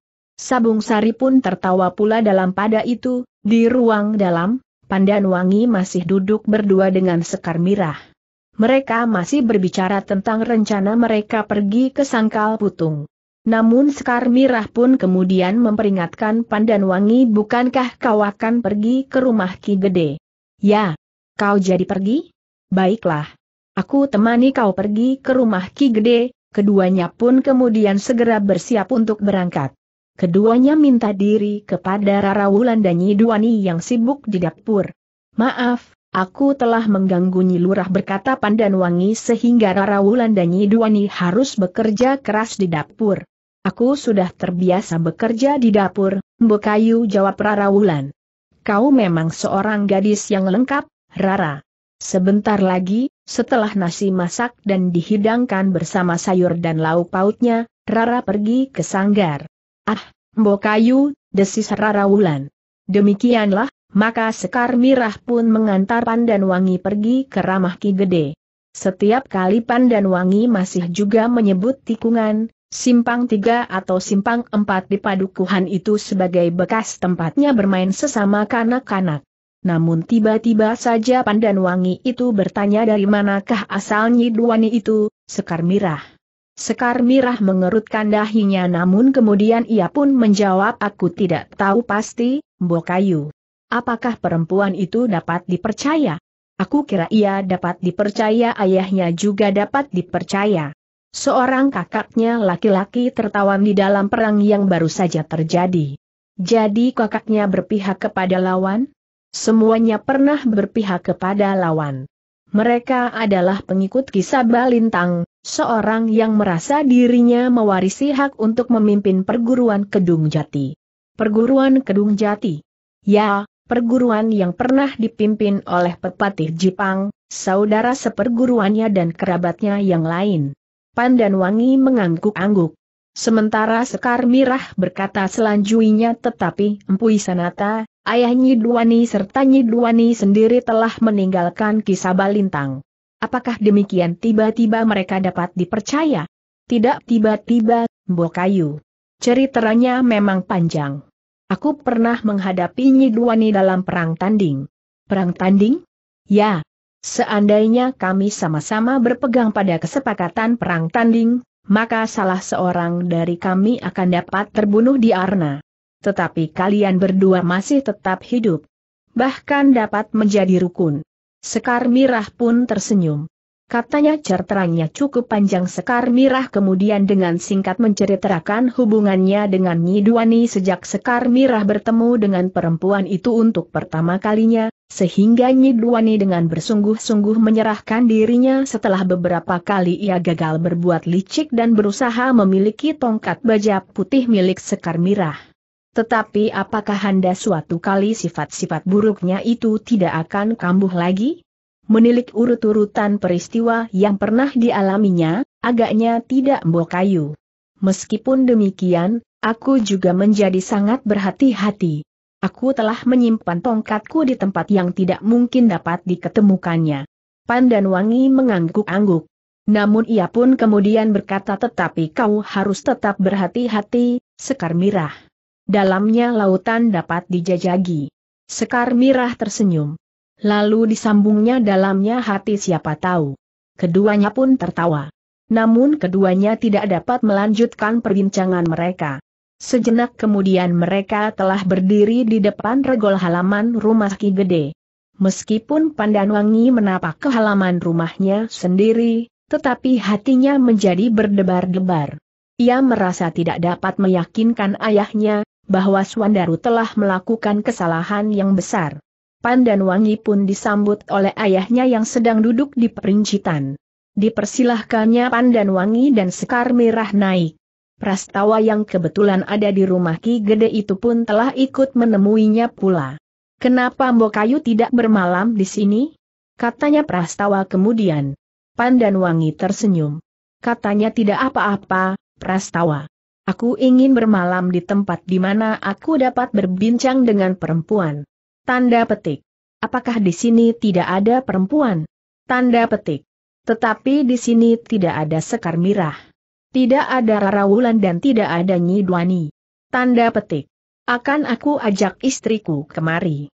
Ia akan dapat menemui Mbokayu di sini. Tanda petik. Pandan Wangi tertawa pendek. Katanya bukankah tidak ada bedanya? Bukankah begitu, ayah? Tanda petik. Ki Gede mengangguk sambil menjawab hampir di luar sadarnya ya, Pandan Wangi. Tanda petik. Nah, kau dengar? Tanda petik. Tetapi sebaiknya, Bokayu bermalam di sini, nanti akan aku ajak istriku kemari. Tanda petik. Pandan Wangi mengangguk sambil menjawab baiklah. Tetapi jangan nanti malam. Masih ada yang akan aku bicarakan dengan Sekar Mirah mungkin besok malam aku akan tidur di sini. Tanda petik. Prastawa menarik nafas panjang. Tetapi Ki Gedelah yang kemudian berbicara biarlah Pandan Wangi memilih. Di mana-mana agaknya sama saja. Di sini di rumah ayahnya sedangkan di rumah Kilurah, Pandan Wangi berada di rumah iparnya. Tanda petik. Ipar? Tanda petik. Ya bukankah Nyi Lurah Sekar Mirah itu saudara perempuan suaminya? Tanda petik. Prastawa mengangguk-angguk. Katanya ya. Nyi Lurah adalah adik perempuan Kakang Swandaru. Tanda petik. Namun dalam pada itu, Pandan Wangi pun berkata Prastawa, apakah kau bersedia mengajakku berkeliling tanah perdikan? Aku merasa rindu untuk melihat lingkungan permainan masa kecilku. Tanda petik. Mbok Kayu tidak pernah ke mana-mana di masa kecil. Ah, hampir setiap pagi aku dibawa ayah berlari-lari mengelilingi beberapa padukuhan di tanah perdikan ini. Berganti-ganti, sehingga dalam beberapa pekan, aku sudah menginjak semua jalur jalan yang ada di tanah perdikan ini. Kemudian di pekan berikutnya aku akan mengulangi lagi jalan-jalan yang pernah aku lalui. Tanda petik. Prastawa mengangguk-angguk. Sementara Ki Gede pun berkata Pandan Wangi sangat akrab dengan lingkungan di tanah perdikan ini. Tanda petik. Prastawa mengangguk-angguk, sementara Pandan Wangi berkata setelah matahari naik, maka aku harus masuk ke dalam sanggar. Baru setelah matahari sepenggalah, ayah memperkenankan aku keluar dari sanggar. Kau termasuk anak yang tekun Pandan Wangi. Baru kemudian setelah mandi dan berbenah diri, aku boleh keluar menemui kawan-kawan sepermainanku, sedang ayah mulai dengan tugas-tugasnya sebagai kepala tanah perdikan. Tanda petik. Ya, aku ingat itu desis prastawa. Tetapi aku tidak pernah merasa puas bermain dengan kawan-kawanku, Karena menurut pendapatku, ada jarak antara aku dengan kawan-kawanku itu. Meskipun umur mereka sebaya dengan umurku, namun rasa-rasanya mereka masih berada jauh di belakangku. Karena itu, maka aku lebih banyak bermain dengan kawan-kawan yang agak lebih besar dan lebih tua dari aku. Prastawa mengangguk-angguk. Namun Pandan Wangi itu berkata selanjutnya tetapi dengan demikian, rasa-rasanya ada bagian hidupku yang terselip dan tidak lagi dapat aku telusuri. Aku memang merasa kehilangan. Ki Gedelah yang menyahut yang hilang bukan masa lampaumu itu. Pandan Wangi. Tetapi justru sekarang kau merasa kehilangan. Tetapi kau akan dapat menemukan kembali yang hilang itu. Tanda petik. Pandan Wangi mengerutkan dahinya dengan nada rendah ia pun berkata mungkin ayah benar. Sudahlah. Jangan terbenam pada penyesalan dan kekecewaan. Waktu akan berjalan terus. Jika kita tertegun untuk merenungi masa lampau, maka kita akan ditinggalkan oleh waktu itu. Tanda petik. Pandan Wangi menarik nafas dalam-dalam. Katanya ya, ayah. Nah, jika kau ingin melihat-lihat, biarlah Prastawa mengantarkanmu. Tetapi bagaimana dengan Nyilurah? Tanda petik. Biarlah Sekar Mirah ikut bersamaku desis Pandan Wangi. Apakah kita akan berjalan kaki bertanya Prastawa? Apakah di sini tidak ada tiga ekor kuda ada buah kayu? Tentu ada. Sejenak kemudian, tiga ekor sudah dipersiapkan. Pandan Wangi dan Sekar Mirah harus membenahi pakaian mereka mereka telah melepas pakaian luar mereka dan mengenakan pakaian khususnya saja. Marilah ajak Pandan Wangi setelah ia dan Sekar Mirah selesai berbenah diri. Beberapa saat kemudian, Pandan Wangi, Sekar Mirah dan Prastawa melarikan kuda mereka menyusuri jalan-jalan di tanah perdikan menoreh. Beberapa orang sempat menyapa ketika mereka melihat salah seorang dari ketiga orang itu adalah Pandan Wangi. Pandan Wangi pun menjawab sapaan orang tanah perdikan menoreh itu dengan ramah. Seorang yang rambutnya sudah ubanan telah menghentikan Pandan Wangi dengan lambaian tangannya. Pandan Wangi pun menghentikan kudanya pula. Ia pun segera meloncat turun dan mengangguk hormat sambil berdesis paman. Aku hampir lupa Pandan Wangi. Aku hanya kenal Pastawa dan Nyi Lurah Agung Sedayu. Namun kemudian aku pun segera tertingat bahwa yang seorang lagi tentu perempuan yang pernah dikenal sebagai bunga di lereng Bukit Menoreh. Titik. Ah paman. Tidak ada orang yang pernah menyebutku seperti itu. Kau sendiri tentu tidak menyadari. Tetapi hampir setiap mulut menyebutnya. Apalagi anak-anak muda sebayamu. Namun akhirnya kembang yang kemudian mekar itu telah dipetik pengembara dari sangkal putung. Ah, Paman. Nyi Lurah Sekar Mirah ini adalah adik suamiku. Ya. Seolah-olah kau sudah ditukar dengan Nyi Lurah Agung Sedayu kembang dari sangkal putung itulah yang kemudian menghiasi lereng Bukit Menoreh. Paman memang senang memuji desis Nyi Lurah Agung Sedayu. Orang yang sudah ubanan itu tertawa. Dengan nada tinggi ia bertanya kalian akan pergi ke mana? Titik sekedar melihat-lihat tanah perdikan yang sudah sangat lama aku tinggalkan. Meskipun kadang-kadang aku juga kembali, tetapi kali ini rasa-rasanya aku ingin melihat-lihat tanah perdikan yang sudah berkembang dengan pesatnya ini. Mampirlah, aku baru saja mencabut beberapa batang ketela pohon. Terima kasih Paman Desis Pandan Wangi lain kali aku akan singgah. Lain kali belum tentu aku mencabut beberapa batang ketela pohon. Pandan Wangi tertawa. Katanya aku sendiri yang akan mencabutnya. Orang tua itu tertawa Pandan Wangi, Sekar Mirah, dan Prastawa pun tertawa pula. Namun Pandan Wangi tidak dapat singgah di rumah orang tua itu. Dengan nada tinggi Pandan Wangi pun berkata maaf Paman. Kami akan singgah pada kesempatan lain. Orang tua itu mengangguk sambil menjawab apa boleh buat biarlah aku habiskan sendiri beberapa batang ketela pohonku. Tanda petik.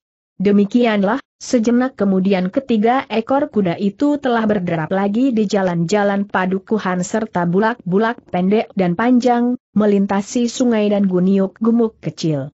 Pandan Wangi benar-benar ingin melihat tanah perdikan yang membentang dari selatan ke utara. Tetapi ketika matahari kemudian mulai bergeser ke barat, maka Pandan Wangi pun berkata kita sudahi perjalanan kita hari ini. Prastawa marilah kita pulang. Besok kita akan menempuh jalan yang lain dari yang kita lewati sekarang. Demikianlah mereka bertiga pun melarikan kuda mereka kembali ke padukuhan induk tanah perdikan menoreh. Namun di jalan kembali, Pandan Wangi yang berkuda di sebelah Sekar Mirah itu sempat berkata Sekar Mirah. Di antara para penari yang pernah dalang di Sangkal Putung, seorang di antaranya mirip sekali dengan perempuan yang tinggal di rumahmu, yang disebut Nyidwani itu. Sekar Mirah mengerutkan dahinya. Dengan ragu-ragu ia pun bertanya perempuan itukah yang telah menjerat Kakang Suandaru sehingga Kakang Suandaru menjadi seorang yang kehilangan kebelat itu. Pandan Wangi menggeleng. Katanya bukan perempuan itu. Perempuan yang lain. Tetapi agaknya perempuan yang mirip dengan Nyiduani itu mempunyai pengaruh dan wibawa yang tinggi di antara teledek-teledek yang lain, bahkan seluruh rombongan tari tayub itu. Para pengiring gamelan pun tampaknya begitu menghormatinya. Apakah perempuan itu pemilik atau tetua dari rombongan itu sehingga semua orang seakan-akan bergantung kepadanya? Tanda tanya. Entahlah. Besok jika kau berada di sangkal putung, kau akan melihatnya mirip sekali, meskipun masih juga dapat dibedakan. Sekar Mirah mengangguk-angguk. Keinginannya segera sampai ke sangkal putung untuk melihat rombongan tayub itu semakin mendesaknya. Tetapi ia tidak dapat mengatakannya kepada Pandanwangi, karena ia tidak ingin mengganggu Pandanwangi yang sedang beristirahat serta meletakkan segala macam kesibukan lahir dan batinnya. Nampaknya perempuan itu juga bukan perempuan kebanyakan. Sekali aku pernah melihat perempuan itu mengenakan pakaian khusus sebagaimana kita kenakan sekarang. Untuk apa ia mengenakan pakaian seperti itu entahlah. Mungkin sekedar pamer atau sengaja menakut. Nakuti banyak orang. Untuk menakuti nakuti mbok kayu? Pandan Wangi tersenyum. Katanya mudah-mudahan. Aku justru berharap demikian. Ya, aku juga berharap demikian. Pandan Wangi mengerutkan dahinya dengan nada tinggi Pandan Wangi bertanya kenapa kau berharap agar perempuan itu menakut-nakuti aku? Sebagaimana Mukayu juga berharap jawab Sekar Mirah. Pandan Wangi tertegun sejenak, namun Pandan Wangi itu pun kemudian tertawa Sekar Mirah pun tertawa pula agaknya kedua-duanya sudah saling mengetahui maksud mereka masing-masing. Tetapi Sekar Mirah itu rasa-rasanya ingin juga menjelaskan jika perempuan itu menakut-nakuti Mbokayu dan Mbokayu. Tidak menjadi takut, maka orang itu akan menjadi sangat kecewa. Bahkan aku berharap bahwa ia tidak sekedar menjadi kecewa saja sahut Pandan Wangi. Aku mengerti desis Sekar Mirah. Ketika keduanya tertawa lagi, Prastawa memperlambat kudanya sambil berpaling ia bertanya kita akan pergi ke mana? Ke rumah Ki Gede atau ke rumah Ki Lurah Agung Sedayu? Tanda petik. Bukankah kita membawa kuda dari rumah ayah? Pandan Wangi justru bertanya. Prastawa mengangguk-angguk. Tetapi ia masih bertanya apa yang Bokayu dan Nyi Lurah tertawakan? Tanda petik. Pandan Wangi mengerutkan dahinya.